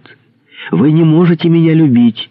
Так уезжайте, уезжайте и найдите благословенного богами молодого человека, который станет вашим супругом и которого я буду любить как сына. Здесь рукопись обрывается. 2 апреля 1895 года в возрасте 68 лет на авеню Ниель в доме своей дочери Колетты умерла госпожа Дюма, а через несколько дней началась агония у госпожи Ренье в маленьком построенном эскалье-особняке на Римской улице, где она жила вместе со своей дочерью Анриеттой. Дюма похоронил княгиню в Неи-Сюрсен рядом с Катриной Лябе. А 26 июня, меньше чем через три месяца с того дня, как он овдовел, женился на Анриетте в Марли-Леруа. Он любил ее с отчаянной страстью. В течение восьми лет он каждый день писал ей. И тем не менее, от его соседа Сарду, с которым он делился, мы знаем, что, предпринимая этот решительный шаг, он терзался сомнениями. Не безумие ли со стороны человека, которого так давно преследовало апокалипсическое видение греха, за порогом семидесятилетия связывать свою жизнь с молодой женщиной такой редкостной красоты? Он знал это, но сдержал данное слово. У него было высокое и суровое понятие о чести. 27 июля 1895 года он написал завещание. «Сегодня я вступаю в 72 год своей жизни. Пришло время составить завещание, тем паче, что по некоторым признакам мне представляется более чем вероятным, что я не увижу конца этого года, в который вступаю». И все же ровно месяц назад я женился на женщине много моложе себя. Я считаю своим долгом доказать ей таким образом мое уважение и мою привязанность, которых она во всех смыслах достойна. Я уверен, что она будет с честью носить мое имя все то время, что ей суждено носить его, когда меня уже не будет. Кроме того, она человек энергичный и мужественный и сумеет выполнить мою волю, которую я выражу в этом завещании. Я желаю категорически, чтобы меня похоронили без всякого церковного обряда. Я хочу, чтобы над моей могилой не произносили никаких речей. И освобождаю Академию от воздания мне воинских почестей. Таким образом, моя смерть причинит беспокойство только тем, кто сам пожелает побеспокоиться. Я желаю быть похороненным на кладбище Перлашес в склепе, содержащем только два отделения, где, чем позднее, тем лучше, рядом со мною упокоится госпожа Дюма. Я желаю, чтобы после моей смерти меня одели в одну из моих полотняных рубашек с красной каймой и в один из моих одноцветных рабочих костюмов. Ноги пусть останутся голыми. Все мои бумаги, письма, рукописи я оставляю госпоже Анриетте Александр Дюма, которая приведет их в порядок и знает, как с ними поступить. Он не боялся смерти, но мучился, думая о будущем Анриетты, о возможных конфликтах между его дочерьми и женой, о своем незаконченном произведении. В августе он писал из Пюи Жюлю Кларити. Ваше письмо застало меня за переделкой последней сцены четвертого действия, главной сцены для всей пьесы и для Муне. Если нам суждено провалиться, то мы провалимся именно в этой сцене. Если же она удастся, нас ждет большой успех, несмотря на неблагоприятную развязку. В другом месте он писал о Фиванской дороге. Вы получите ее через год, или я умру. Жорж Кларити, сын Жюля, рассказал в одной статье содержание пятого акта, который Дюма в его присутствии читал в совершенно законченном виде генеральному комиссару французского театра. Внезапно Миллиана влюбляется в Стефена — красивого и элегантного шведа, который возглавляет делегацию иностранных студентов. В тот самый день, когда она должна была бежать с Дидье, она покидает Париж с молодым скандинавом. Парижанка следует за соотечественником Ипсона. Любовь — это привилегия молодости, такова мораль драмы. Кризис миновал, сфинкс исчез. Дидье, глядя на свою дочь Женевьеву, качает головой и бормочет, быть может, и в самом деле существует душа. А Матиас в своем углу играет на флейте в перерыве между двумя опытами, как Фридрих II между двумя сражениями, и отвечает учителю насмешливыми звуками своего визгливого инструмента. Нет ничего невозможного в том, что Дюма, пребывая в глубокой печали, в которую его ввергло нездоровье, подумывал о подобной развязке.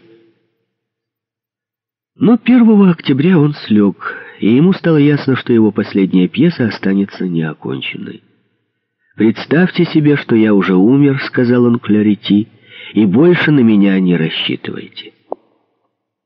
Своей дочери Колетте он признался, «Не пойму, что со мной. Весь день у меня в ушах трещит сверчок». Кровь заставляла вибрировать его утратившая эластичность артерии. Вскоре у него начались головные боли, и временами он впадал в странное забытье, пугавшее его жену. Консультанты не могли поставить диагноз. Одни предполагали кровоизлияние, другие — опухоль мозга. В конце ноября крупнейшие врачи, собравшиеся в Марли у его постели, объявили, что он безнадежен. Как когда-то его отец, умиравший на морском берегу Пюи, он проводил целые дни в смутных сновидениях.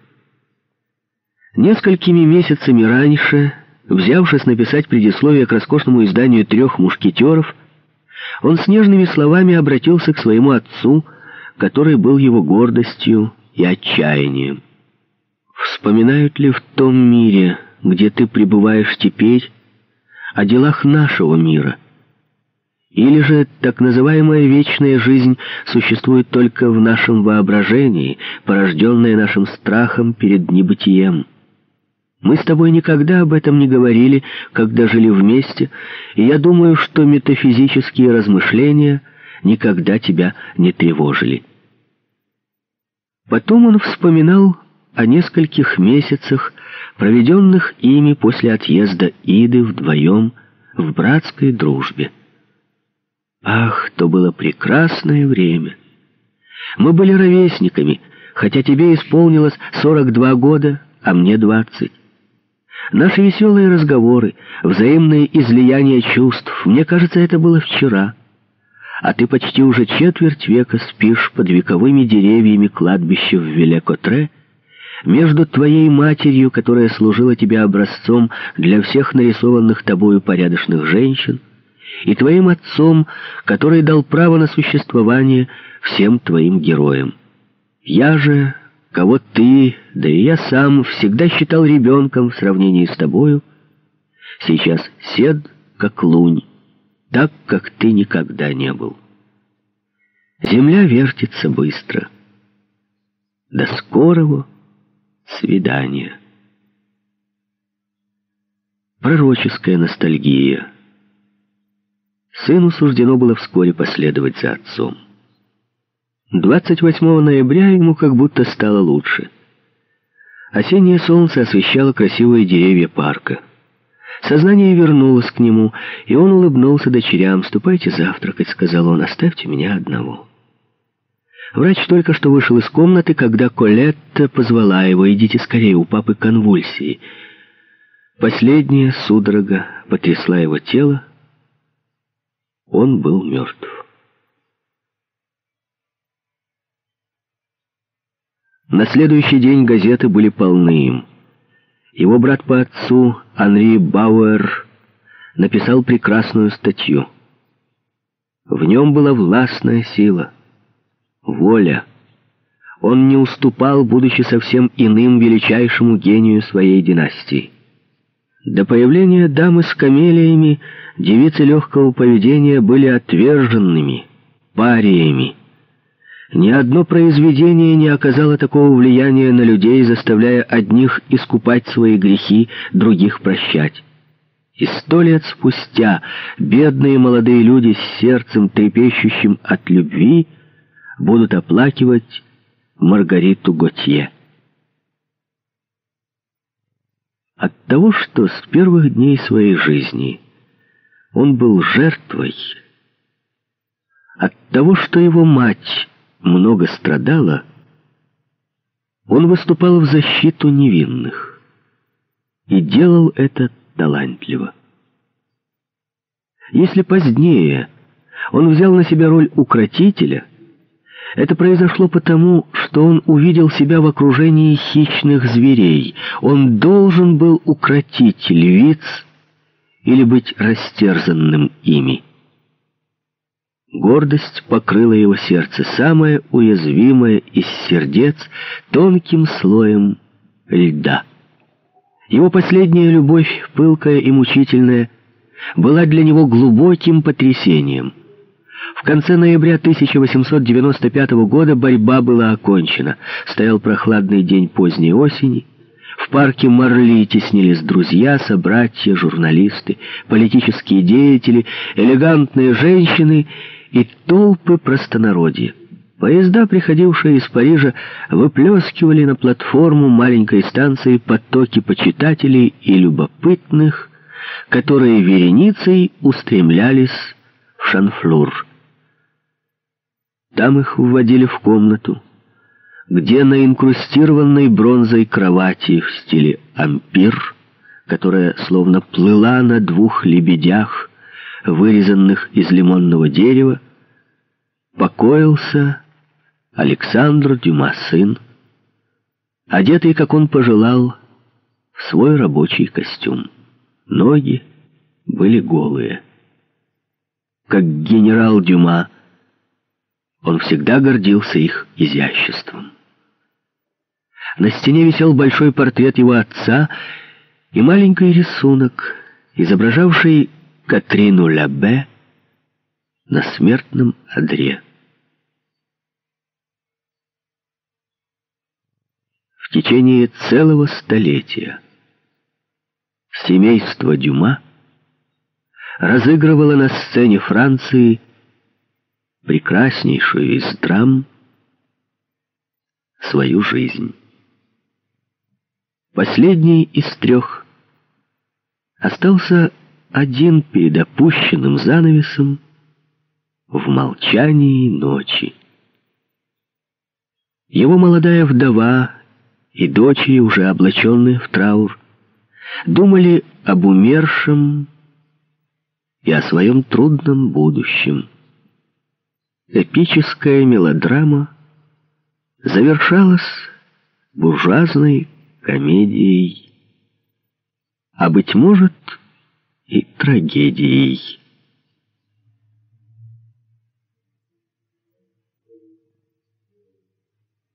Три Дюма и Андре Муруа.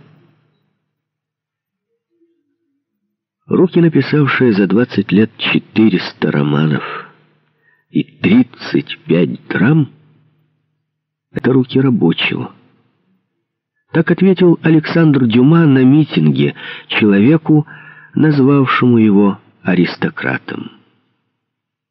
Эта фраза есть в книге Андре Муруа, но образ, вырастающий из этой фразы, не тот образ Дюма, который нарисовал всемирно известный писатель, один из создателей особого жанра романизированной биографии. Человек и его творчество. Разве можно разделить то, что в нашем представлении слито воедино? Ведь именно в подвиге, совершенном человеком, писателем, художником, ученым, политическим деятелем, раскрывается его подлинная биография.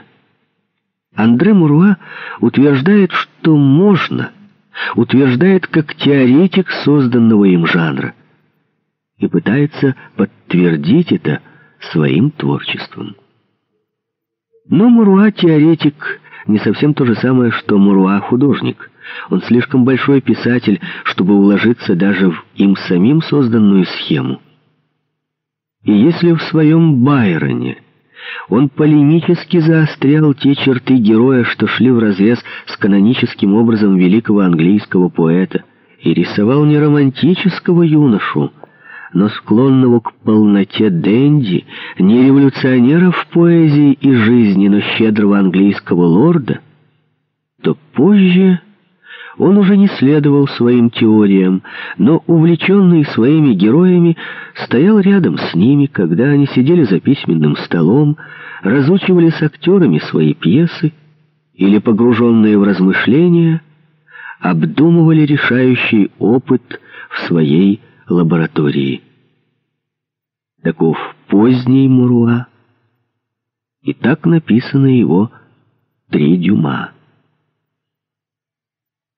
Но Муруа по воспитанию и взглядам аристократ, поэтому в своих героях он прежде всего ищет аристократизм духа, гений и талант. Упорный и вдохновенный труд, благодаря которому блестящая звезда гения взлетает над миром, он оставляет в тени, он его не интересует, или Муруа делает вид, что это его не интересует. Во всяком случае, все это остается за пределами его книг. Сколько книг написал Андре Муруа? Он кокетливо утверждает, что точно не помнит. Но библиографы, перечисляя его книги, часто забывают упомянуть менее важные его работы и путают годы выхода в свет его произведений. Только сопоставляя данные разных биографических и библиографических справочников, можно, да и то с некоторой неуверенностью, подсчитать, что им создано 73 книги, вышедшие отдельными изданиями, не считая журнальных и газетных публикаций, а также выступлений по радио и телевидению. Среди этих книг есть романы, сборники рассказов, популярные исторические книги, история Англии, история Соединенных Штатов, история Франции, путевые очерки, политические памфлеты, эссе, сказки, стихи, мои песни, вот они, Максимы. Но главное в этом огромном творческом труде — биографии. Именно благодаря им он стал знаменит, и о них раньше всего вспоминают, когда произносят имя Андре Муруа. Андре Муруа не только талантливый и интересный писатель. Он колоритная фигура и как человек. В нем весьма причудливо соединились влияния культур разных народов. И в то же время он один из лучших представителей того блестящего французского стиля, который является главным критерием при избрании в академию. Он начал свою деятельность администратором текстильных фабрик, участвовал в двух мировых войнах, был профессором в английских и американских университетах, в частности, в Кембридже и Принстоне, выполнял важные дипломатические поручения. Но всегда и везде он в первую очередь был и оставался писателем. И недаром он однажды сказал, «Писатель — это самое лучшее занятие на свете». Сейчас ему 77 лет. Он уже давно достиг бессмертия, как называют во Франции избрание в академию. Он один из старейшин этого высокого собрания. Он занял академическое кресло в 1938 году но он продолжает писать с холодной и неистовой страстью, столь похожей и не похожей на страсть Александра I. Только за последние десять лет он опубликовал 17 книг. Три дюма, где сочетаются нерастраченный им энтузиазм юности и блестящий стиль зрелости – написаны в 1957 году, когда Андре Муруа было 72 года. Он родился и провел детство в маленьком нормандском городке Эльбеф, неподалеку от Руана. Его отец, Эрнест Герцог, был выходцем из Эльзаса, и переселился в Нормандию в 1871 году, когда Эльзас и Лотарингия были захвачены Германией. В городке была целая колония эльзасцев, сохранивших свои своеобразные песни, танцы и выговор. После окончания местной школы мальчик поступил в лицей имени Корнеля в Руане. Здесь один из профессоров – подарил ему книгу «Душа России». Произведения Пушкина, Гоголя и Толстого произвели на молодого Муруа, этот гальский псевдоним, избранный очень рано, давно стал его фамилией, огромное впечатление. Первой женой Муруа была эмигрантка из царской России, поэтому его интерес к русской культуре усилился – Позже, уже будучи знаменитым писателем, он сказал, «Романистами, в которых я нашел образец, подлинными мастерами, по мнению моего сердца, были русские Толстой, Тургенев, Чехов и Гоголь». И он никогда не уставал повторять, что считает войну и мир – величайшим романом на свете. Еще будучи студентом, он обычно проводил каникулы в Англии, Швейцарии, Испании Италии. Во время Первой мировой войны он был прикомандирован к английской армии, сражающейся во Франции. Его друзьями, а позже героями его книг, стали англичане, шотландцы, ирландцы.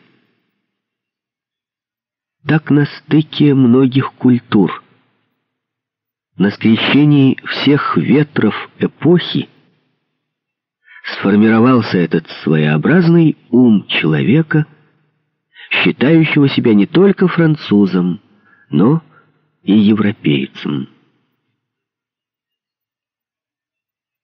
В 1918 году, тотчас по окончании войны, вышла в свет книга «Молчаливый полковник Брамбл», первый роман Андре Муруа. Он стал профессиональным писателем. В начале книги Муруа не имели большого успеха. Но в 1923 году случилось нечто такое, что определило всю его дальнейшую жизнь и сделало его знаменитым. Он написал книгу «Ариэль» или «Жизнь Шелли». Когда он принес рукопись издателю, тот сказал, «Вы сошли с ума. Французы ничего не знают о Шелли. Никто не будет ее читать. Что это? Научный труд, популярная книга, роман? Это романизированная биография», — сказал Муруа. Биография. Мы очень привыкли к этому слову. Но если вдуматься, то вряд ли мы легко сможем определить, к какому жанру художественной литературы она относится. Мы хорошо знаем биографии научные, написанные на материале архивных документов и писем, воспоминаний современников и опроса свидетелей, лично знавших героя биографии. Они могут быть написаны лучше или хуже, но сами авторы – никогда не назовут их художественными произведениями. Это серьезный научный труд. Популярные книги чаще всего являются компиляцией ранее опубликованных научных трудов. Авторы таких книг обычно привлекают и посторонний материал, исторические события, на фоне которых протекала жизнь героя, быт того времени – биографические сведения о людях, с которыми встречался герой. Но авторы популярных книг преследуют обычно не эстетические, а просветительские задачи. Книги, подобные книгам Тынянова, Кюхля, «Смерть Вазир-Мухтара», «Пушкин», уже подлинно художественные произведения, но это романы, где материал, быть может, и достоверный, подчинен эстетическим задачам. Обратимся к самым знакомым примерам, к историческим романам. Так все будет гораздо нагляднее. В «Войне и мире» Толстой нарисовал такого Наполеона и такого Кутузова, каких нигде не существовало. Волнует ли это читателя? Нет. Потому что он ищет в этой книге не биографии исторических деятелей, а биографии Пьера, князя Андрея и Наташи Ростовой. Петр I Алексея Толстого нарисован со всей доступной автору исторической точностью, но читатель смотрит на него не глазами писателя, а глазами его героев. Его нисколько не беспокоит то, что в этих книгах встречается и домысел, и вымысел, ведь он ищет в книге недостоверные факты, а художественную достоверность и психологическую правду он предпочитает правде исторической. Исторические романы Вальтера Скотта — это в значительной степени романы биографические. Одним из героев каждого из них, и не будем слишком притворяться, ради чего и написан роман, всегда является какой-нибудь знаменитый исторический деятель. Но он не является центральной фигурой. протагонистом произведения. Мы видим его глазами главного героя повествования, обычно маленького человека. На его ответственность и ложится нарисованный писателем образ. Пусть автор согласен с героем, но читатель снова и всегда будет так, ищет не исторической, а художественной достоверности. Ведь английский писатель не покрывает людей минувших времен нашим лаком и не гримирует их нашими румянами, а убеждает нас в том, что благородные предрассудки прошлого так же любопытны, как крепкие латы и пышные султаны из перьев на клювовидных шлемах рыцарей. Но ведь все это не биографии и даже не биографические повести, а исторические романы. А что такое биография как самостоятельный художественный жанр? Существует ли она? Античность не оставила нам никакой традиции. Правда, биография панигирик Плутарха, как и биография Донос Светония, живы и в наши дни. Но великое наследство, как и во всех других областях, оставил нам в биографической литературе XIX век. Это наследство огромно и по объему, и по значению. Однако мы должны изучать его критически, принимая и отвергая. Ведь в каждом народе живут две культуры, и в каждом литературном направлении борются две тенденции, две генетические линии.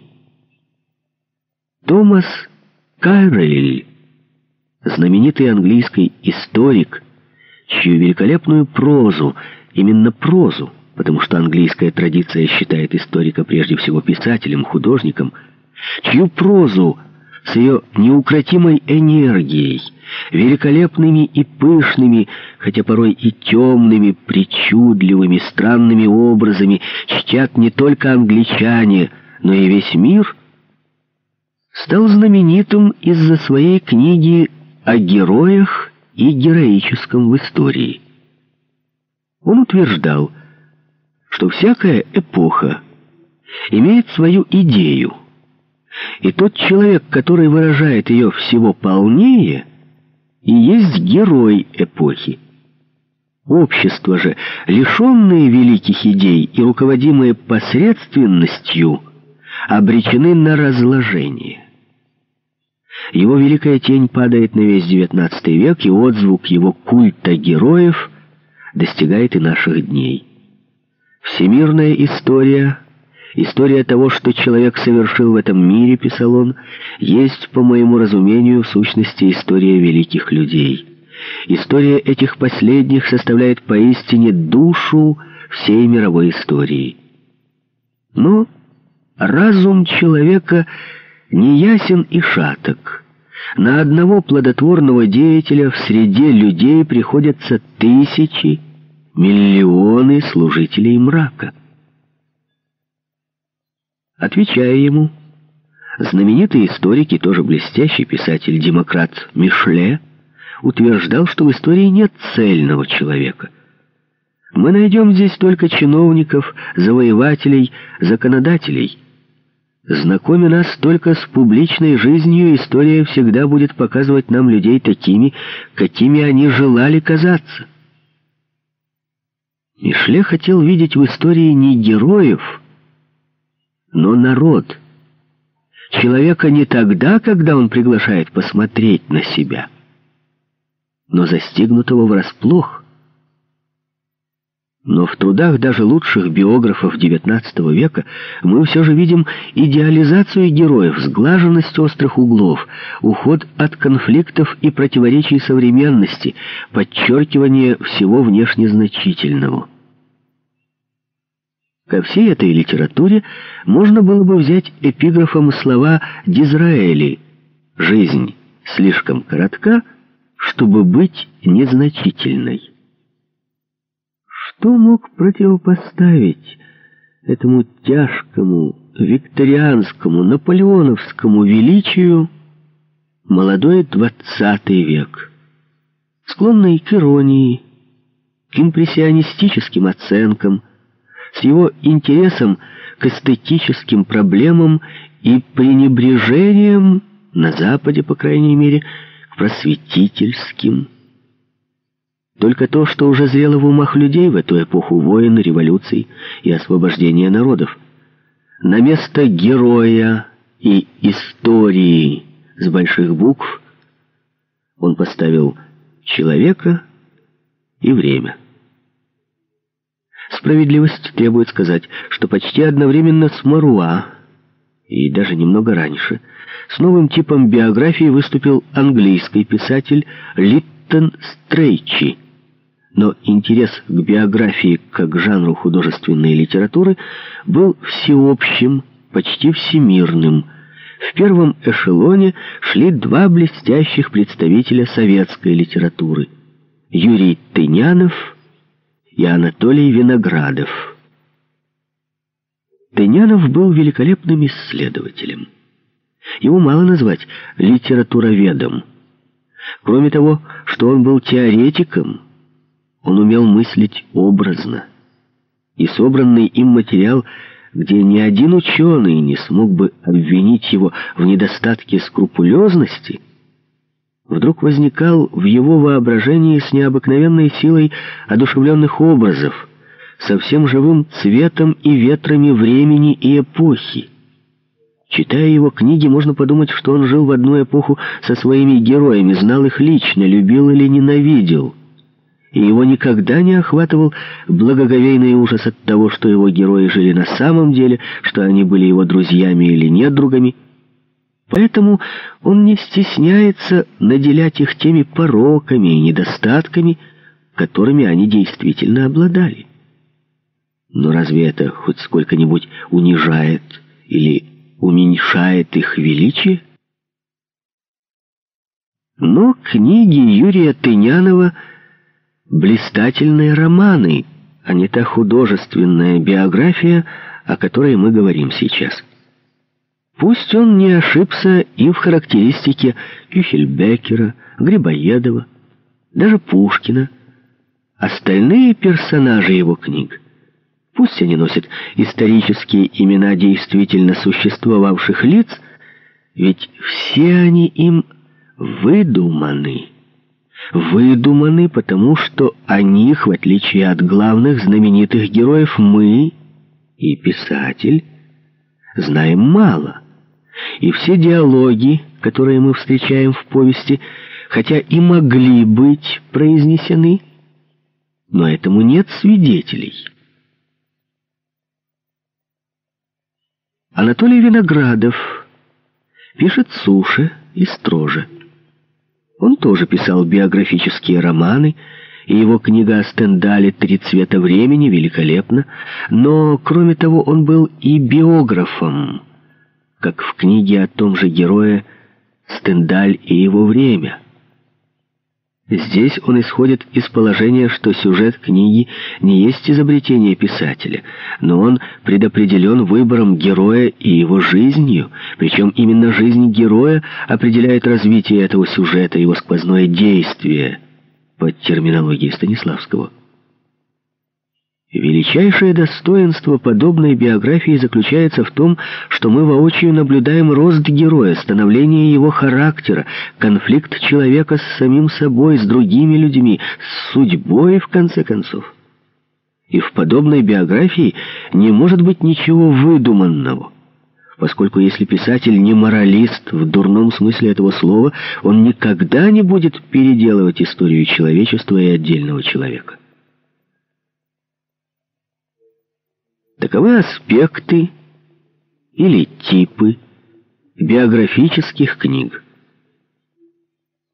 Жанр художественной биографии не выдуман Муруа, как это кажется ему и некоторым критикам. Жанр этот существует, хотя и не имеет собственной поэтики и истории. Но французский писатель — яркий его представитель и его романизированные биографии имеют всемирный успех. Рассмотрим поэтому те теоретические принципы, которые он положил в основу своей работы, и то, как он воплотил их в жизнь.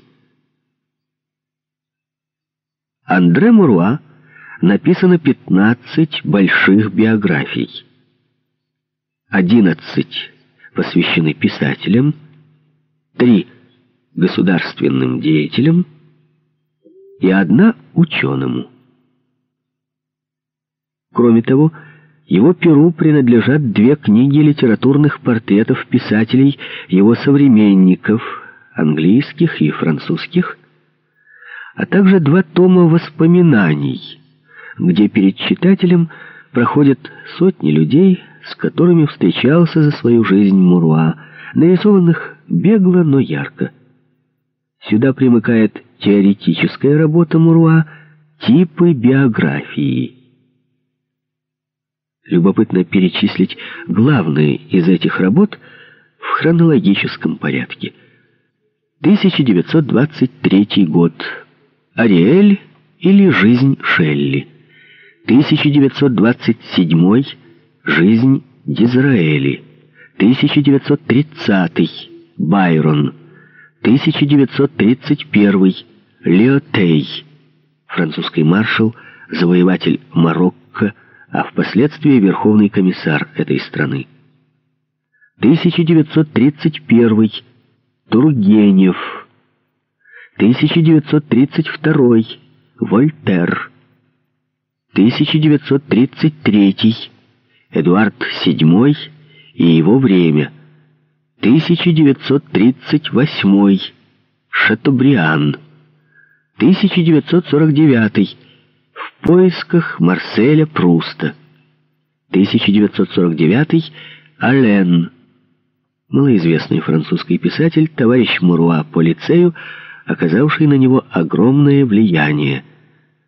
1952 год.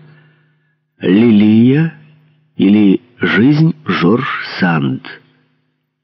1952 Олимпио или Жизнь Виктора Гюго. 1955 Роберт и Элизабет Броунинг. 1957 год Три Дюма.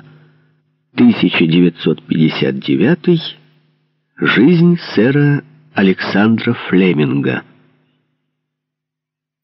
Как видим, все биографии героев Муруа укладываются в сравнительно узкий промежуток времени, конец XVIII, XIX и начало XX века.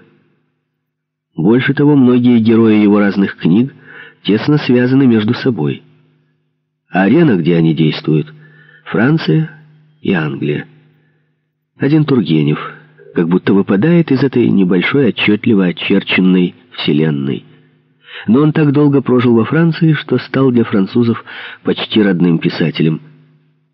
Как видим, Муруа пишет только о том, что хорошо знает. Есть много способов собирать материалы для биографии, и для каждого писателя это начальный этап работы. Эккерман всю жизнь разговаривал с Гёте и дословно записывал эти разговоры. Босвелл всю жизнь ходил следом за доктором Джонсоном и записывал каждый его шаг, каждое слово. Но в разговорах Гёте с Эккерманом мы не видим самого великого писателя, а лишь его слова и мысли. И книга может претендовать только на то, чтобы быть приложением к собранию сочинений Гёте. Жизнь Сэмюэла Джонсона лишь неправленная стенограмма, и герой предстает перед нами только как болтливый старикашка, которому, к удивлению читателя, хотя и редко, но все же удается высказать умную мысль.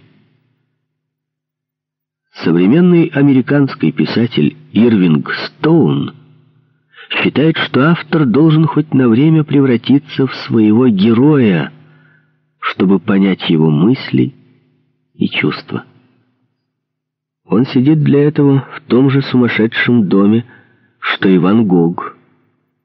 Живет в доме волка, принадлежавшем Джеку Лондону, ест ту же пищу и в те же часы, что и Микеланджело, носит платье своих героев, подражает их походке, манере говорить, почерку. Быть может, это ему иногда и удается, но тогда его герои становятся уже не на время, а навсегда похожими на Стоуна, своего автора. Андре Муруа поступает иначе. Он начинает не со сбора материала. Он сначала выдумывает своего героя. Выдумывает, конечно, не очень точное слово.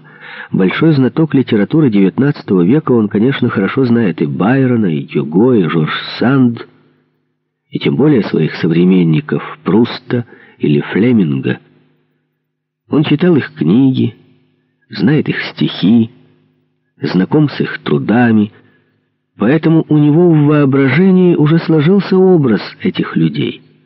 А непосредственному и мгновенному впечатлению Моруа отводит огромное место в творчестве биографа-художника. И когда он начинает собирать фактический материал, то у него уже есть стержень, на который нанизываются все факты. А при таком методе работы материал сам начинает идти ему в руки, так как он отбирает то, что подтверждает его концепцию, и отбрасывает ненужное. Он сам рассказывает о том, как он работал над книгой о Флеминге. В дни юности я создал образ замкнутого шотландца в романе «Молчаливый полковник Брамбл». Я подумал, почему бы мне не написать книгу «Молчаливый профессор Флеминг»? В своем теоретическом труде «Типы биографии» Муруа характеризует героев биографий XIX века как просто сконструированные характеры. Один человек добр, другой слаб. Диккенс был домоседом, Байрон — Дон Жуан — он противопоставляет этому проникновение в глубину человеческого характера, поиски той таинственной жизни, по его выражению, которой не знает даже сам человек. Фрейдизм? Нет. Муруа отрицает фрейдизм.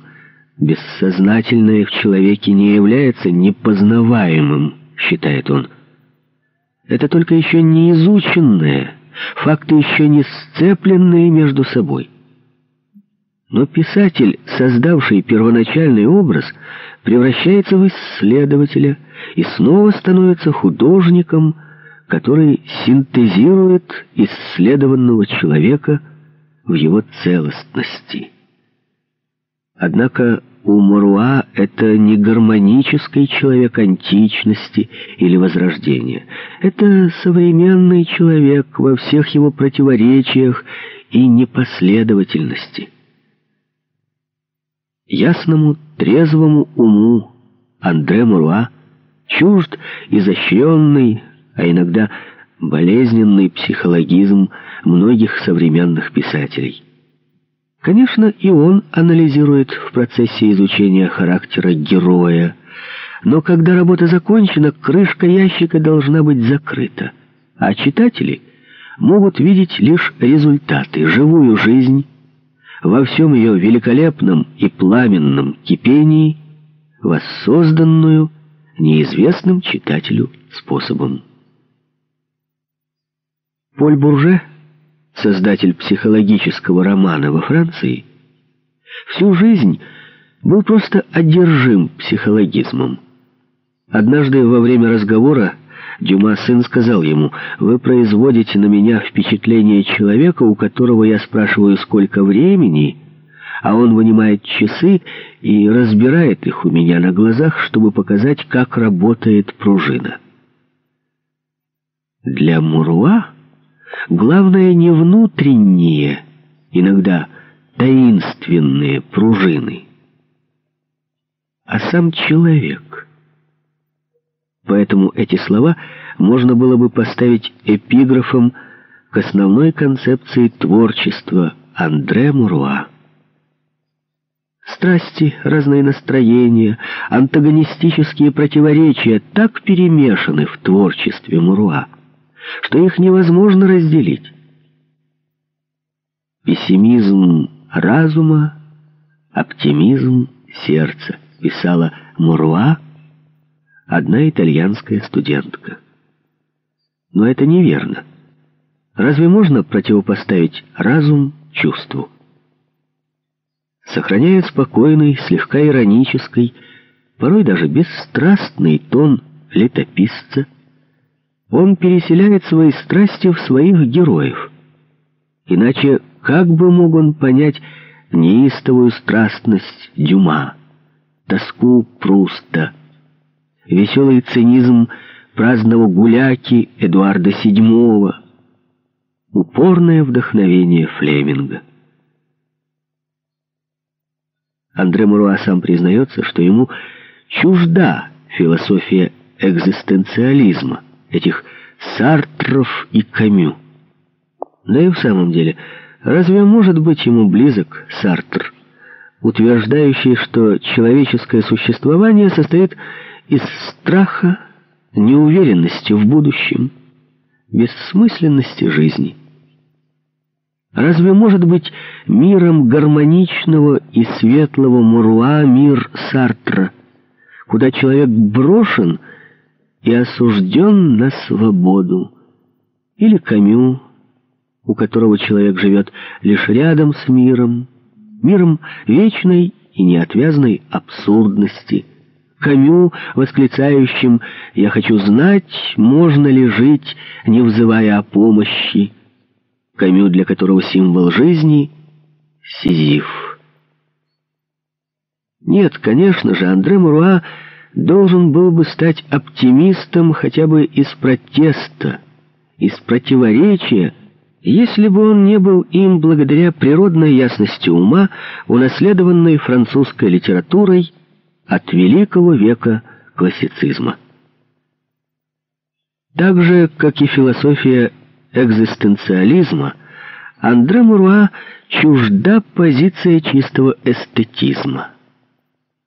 В своей иронической утопии «Остров эстетов» он рассказал о мифическом острове Майяна, расположенном в центре Тихого океана.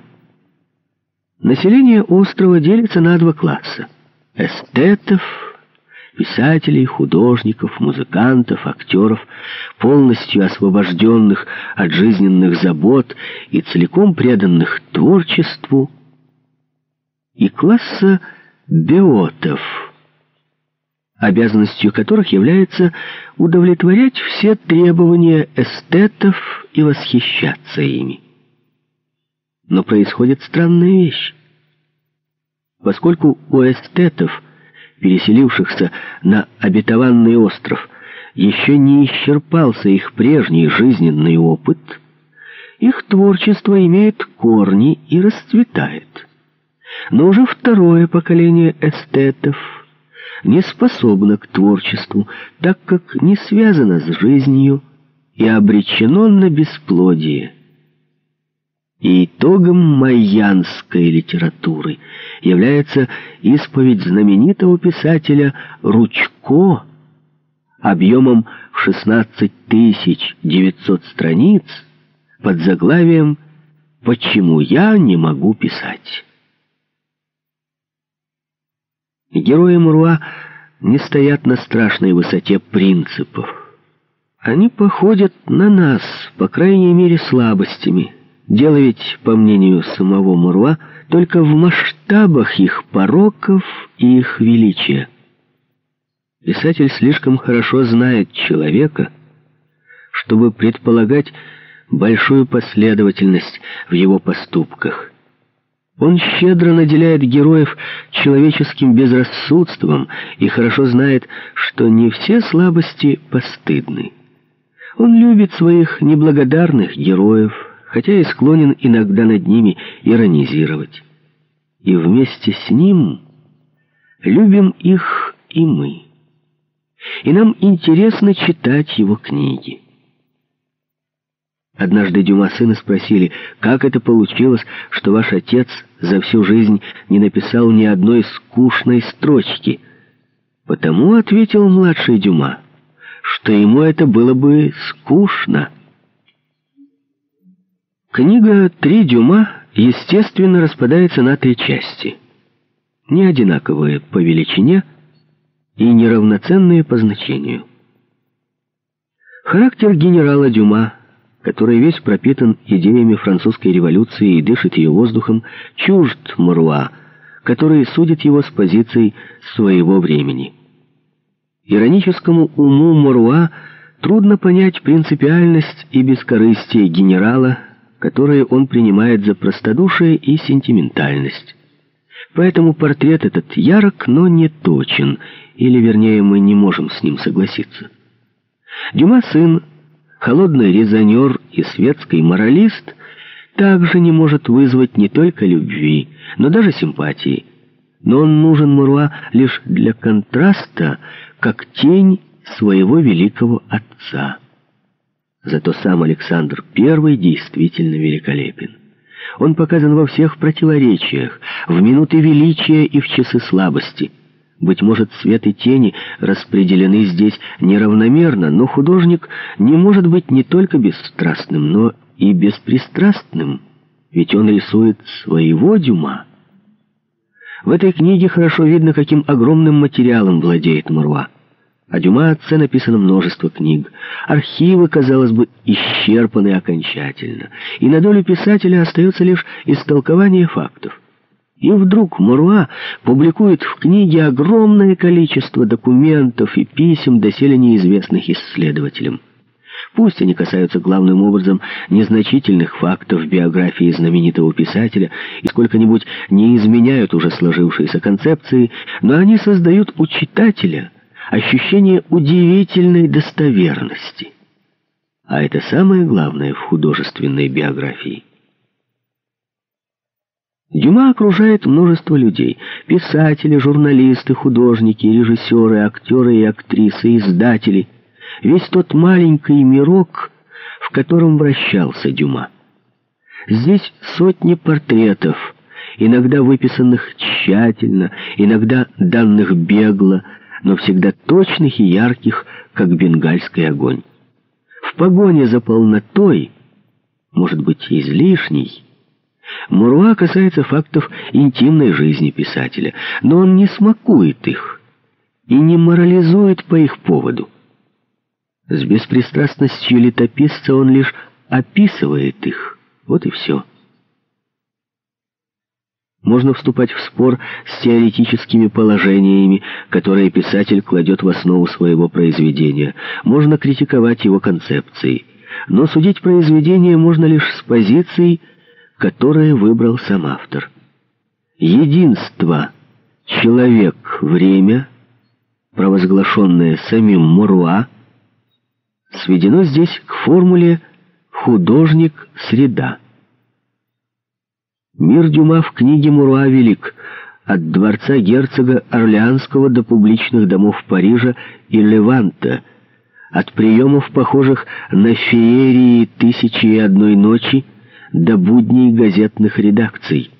Но, да пусть это мне будет позволено сказать, Дюма труженика здесь нет. При всей документальной правде блестящего эрудита Муруа в его книге есть и неправда. Ведь подлинная правда выше фактов. Правда должна быть такой же пристрастной, как суд, который судит великого человека от имени истории. Дюма действительно пользовался чужим трудом не только своих сотрудников, помощников, но и своих предшественников и современников.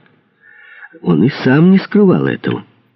Только называл это не заимствованием, а завоеванием.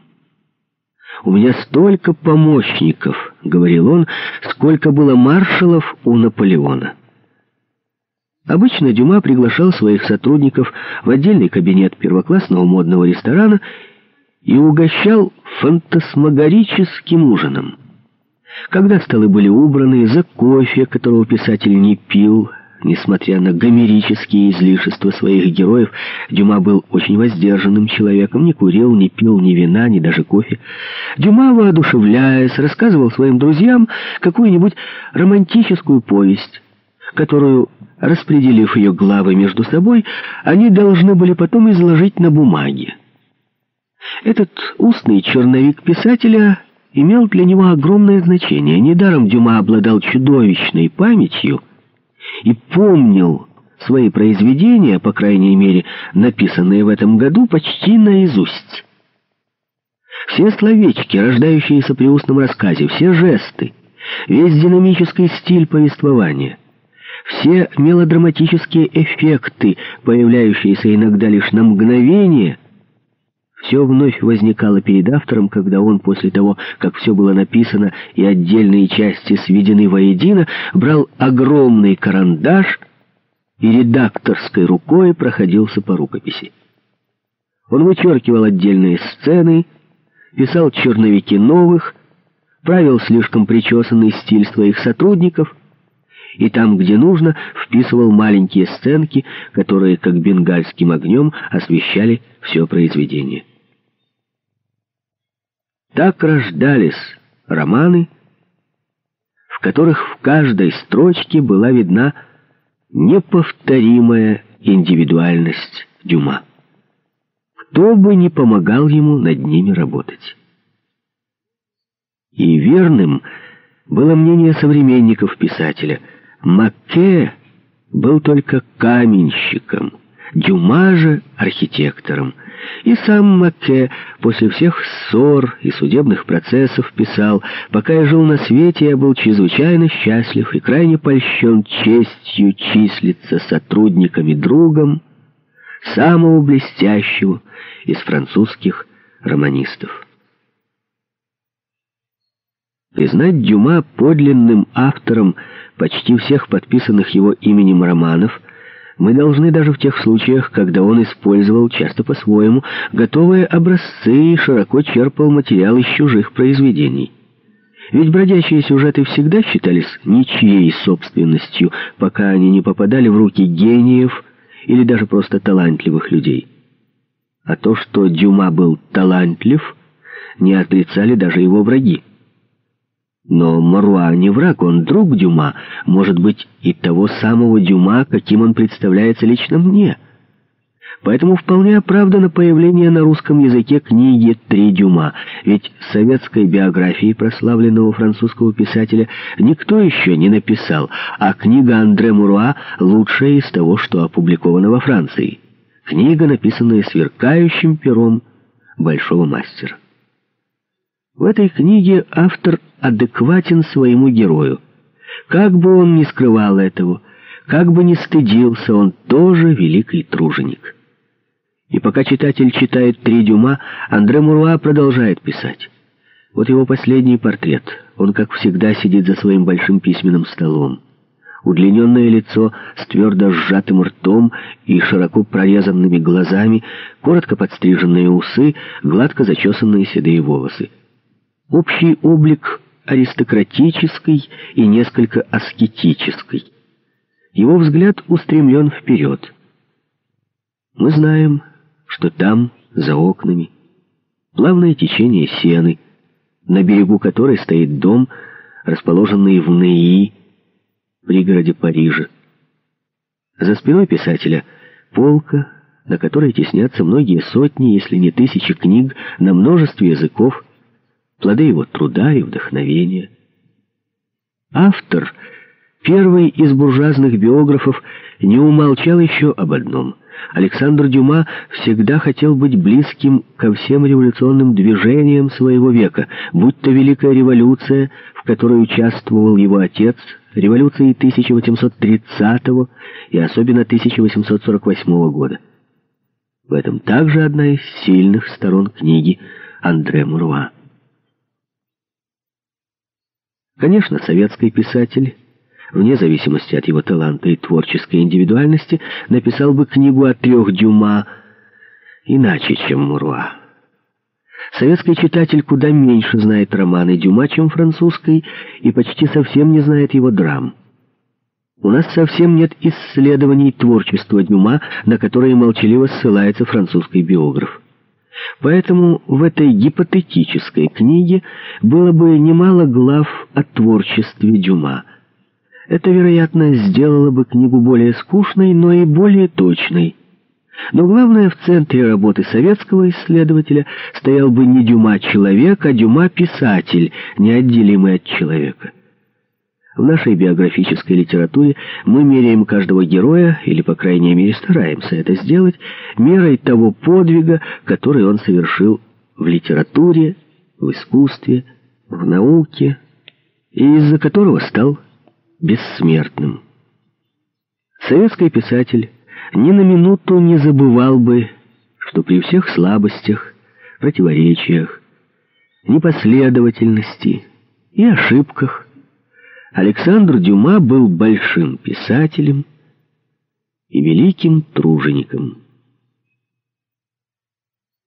Внешняя пышность и пестрая мишура, в которую он так по-детски любил рядиться, не должны заслонять от нас подлинного лица писателя. Торжественные приемы, витиеватые речи, обильные обеды, встречи с великими мира сего — суды с издателями, ссоры с сотрудниками. Все это было мишурой, которая забавляла, льстила самолюбию, но занимала лишь очень малую долю его жизни. Александр Дюма становился самим собой лишь за своим девственно белым письменным столом перед стопкой разноцветной бумаги с гусиным пером в руках. Сколько образов теснилось в его голове! Сколько вымышленных героев толпилось около него! Сколько эпитетов, метафор и метонимий висело на кончике его пера! И все они жаждали освобождения — мечтали воплотиться в буквы, строки и страницы каллиграфически написанной рукописи. Пусть же те, кто прочтет книгу Андре Муруа «Три дюма», вспомнят, что писателя нужно судить не по его ошибкам и неудачам, но потому, что он сделал лучшего что осталось в жизни. Пусть он останется в нашей памяти таким, каким был только наедине с самим собой, неистовым, потным, страдающим одышкой, с пером в руках. Его обступают тени созданных им героев — Сквозь тени просвечивает простая обстановка его мастерской. Белая, чисто обструганная доска стола, плотно сбитый стул, железная кровать, камин со стоящими на нем книгами, стопки разноцветной бумаги на столе. Тени, еще не воплотившиеся, требуют — чтобы он дал им вечную жизнь на страницах романов. Писатель поднимает перо, как шпагу. Он прокалывает им злодеев, посвящает в рыцари любимцев и пишет, пишет, покрывая огромные листы бумаги своим быстрым легким почерком. Александра Дюма читают уже свыше ста лет. Прочли сотни миллионов читателей и будут читать много лет и любить его героев. А о какой более высокой и славной судьбе еще может мечтать писатель?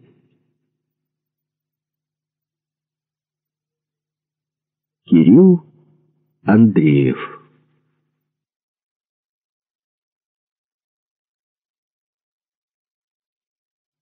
Конец озвученной книги. Киев, 1979 год. Читал Николай Козий, звукорежиссер Анатолий Качкин.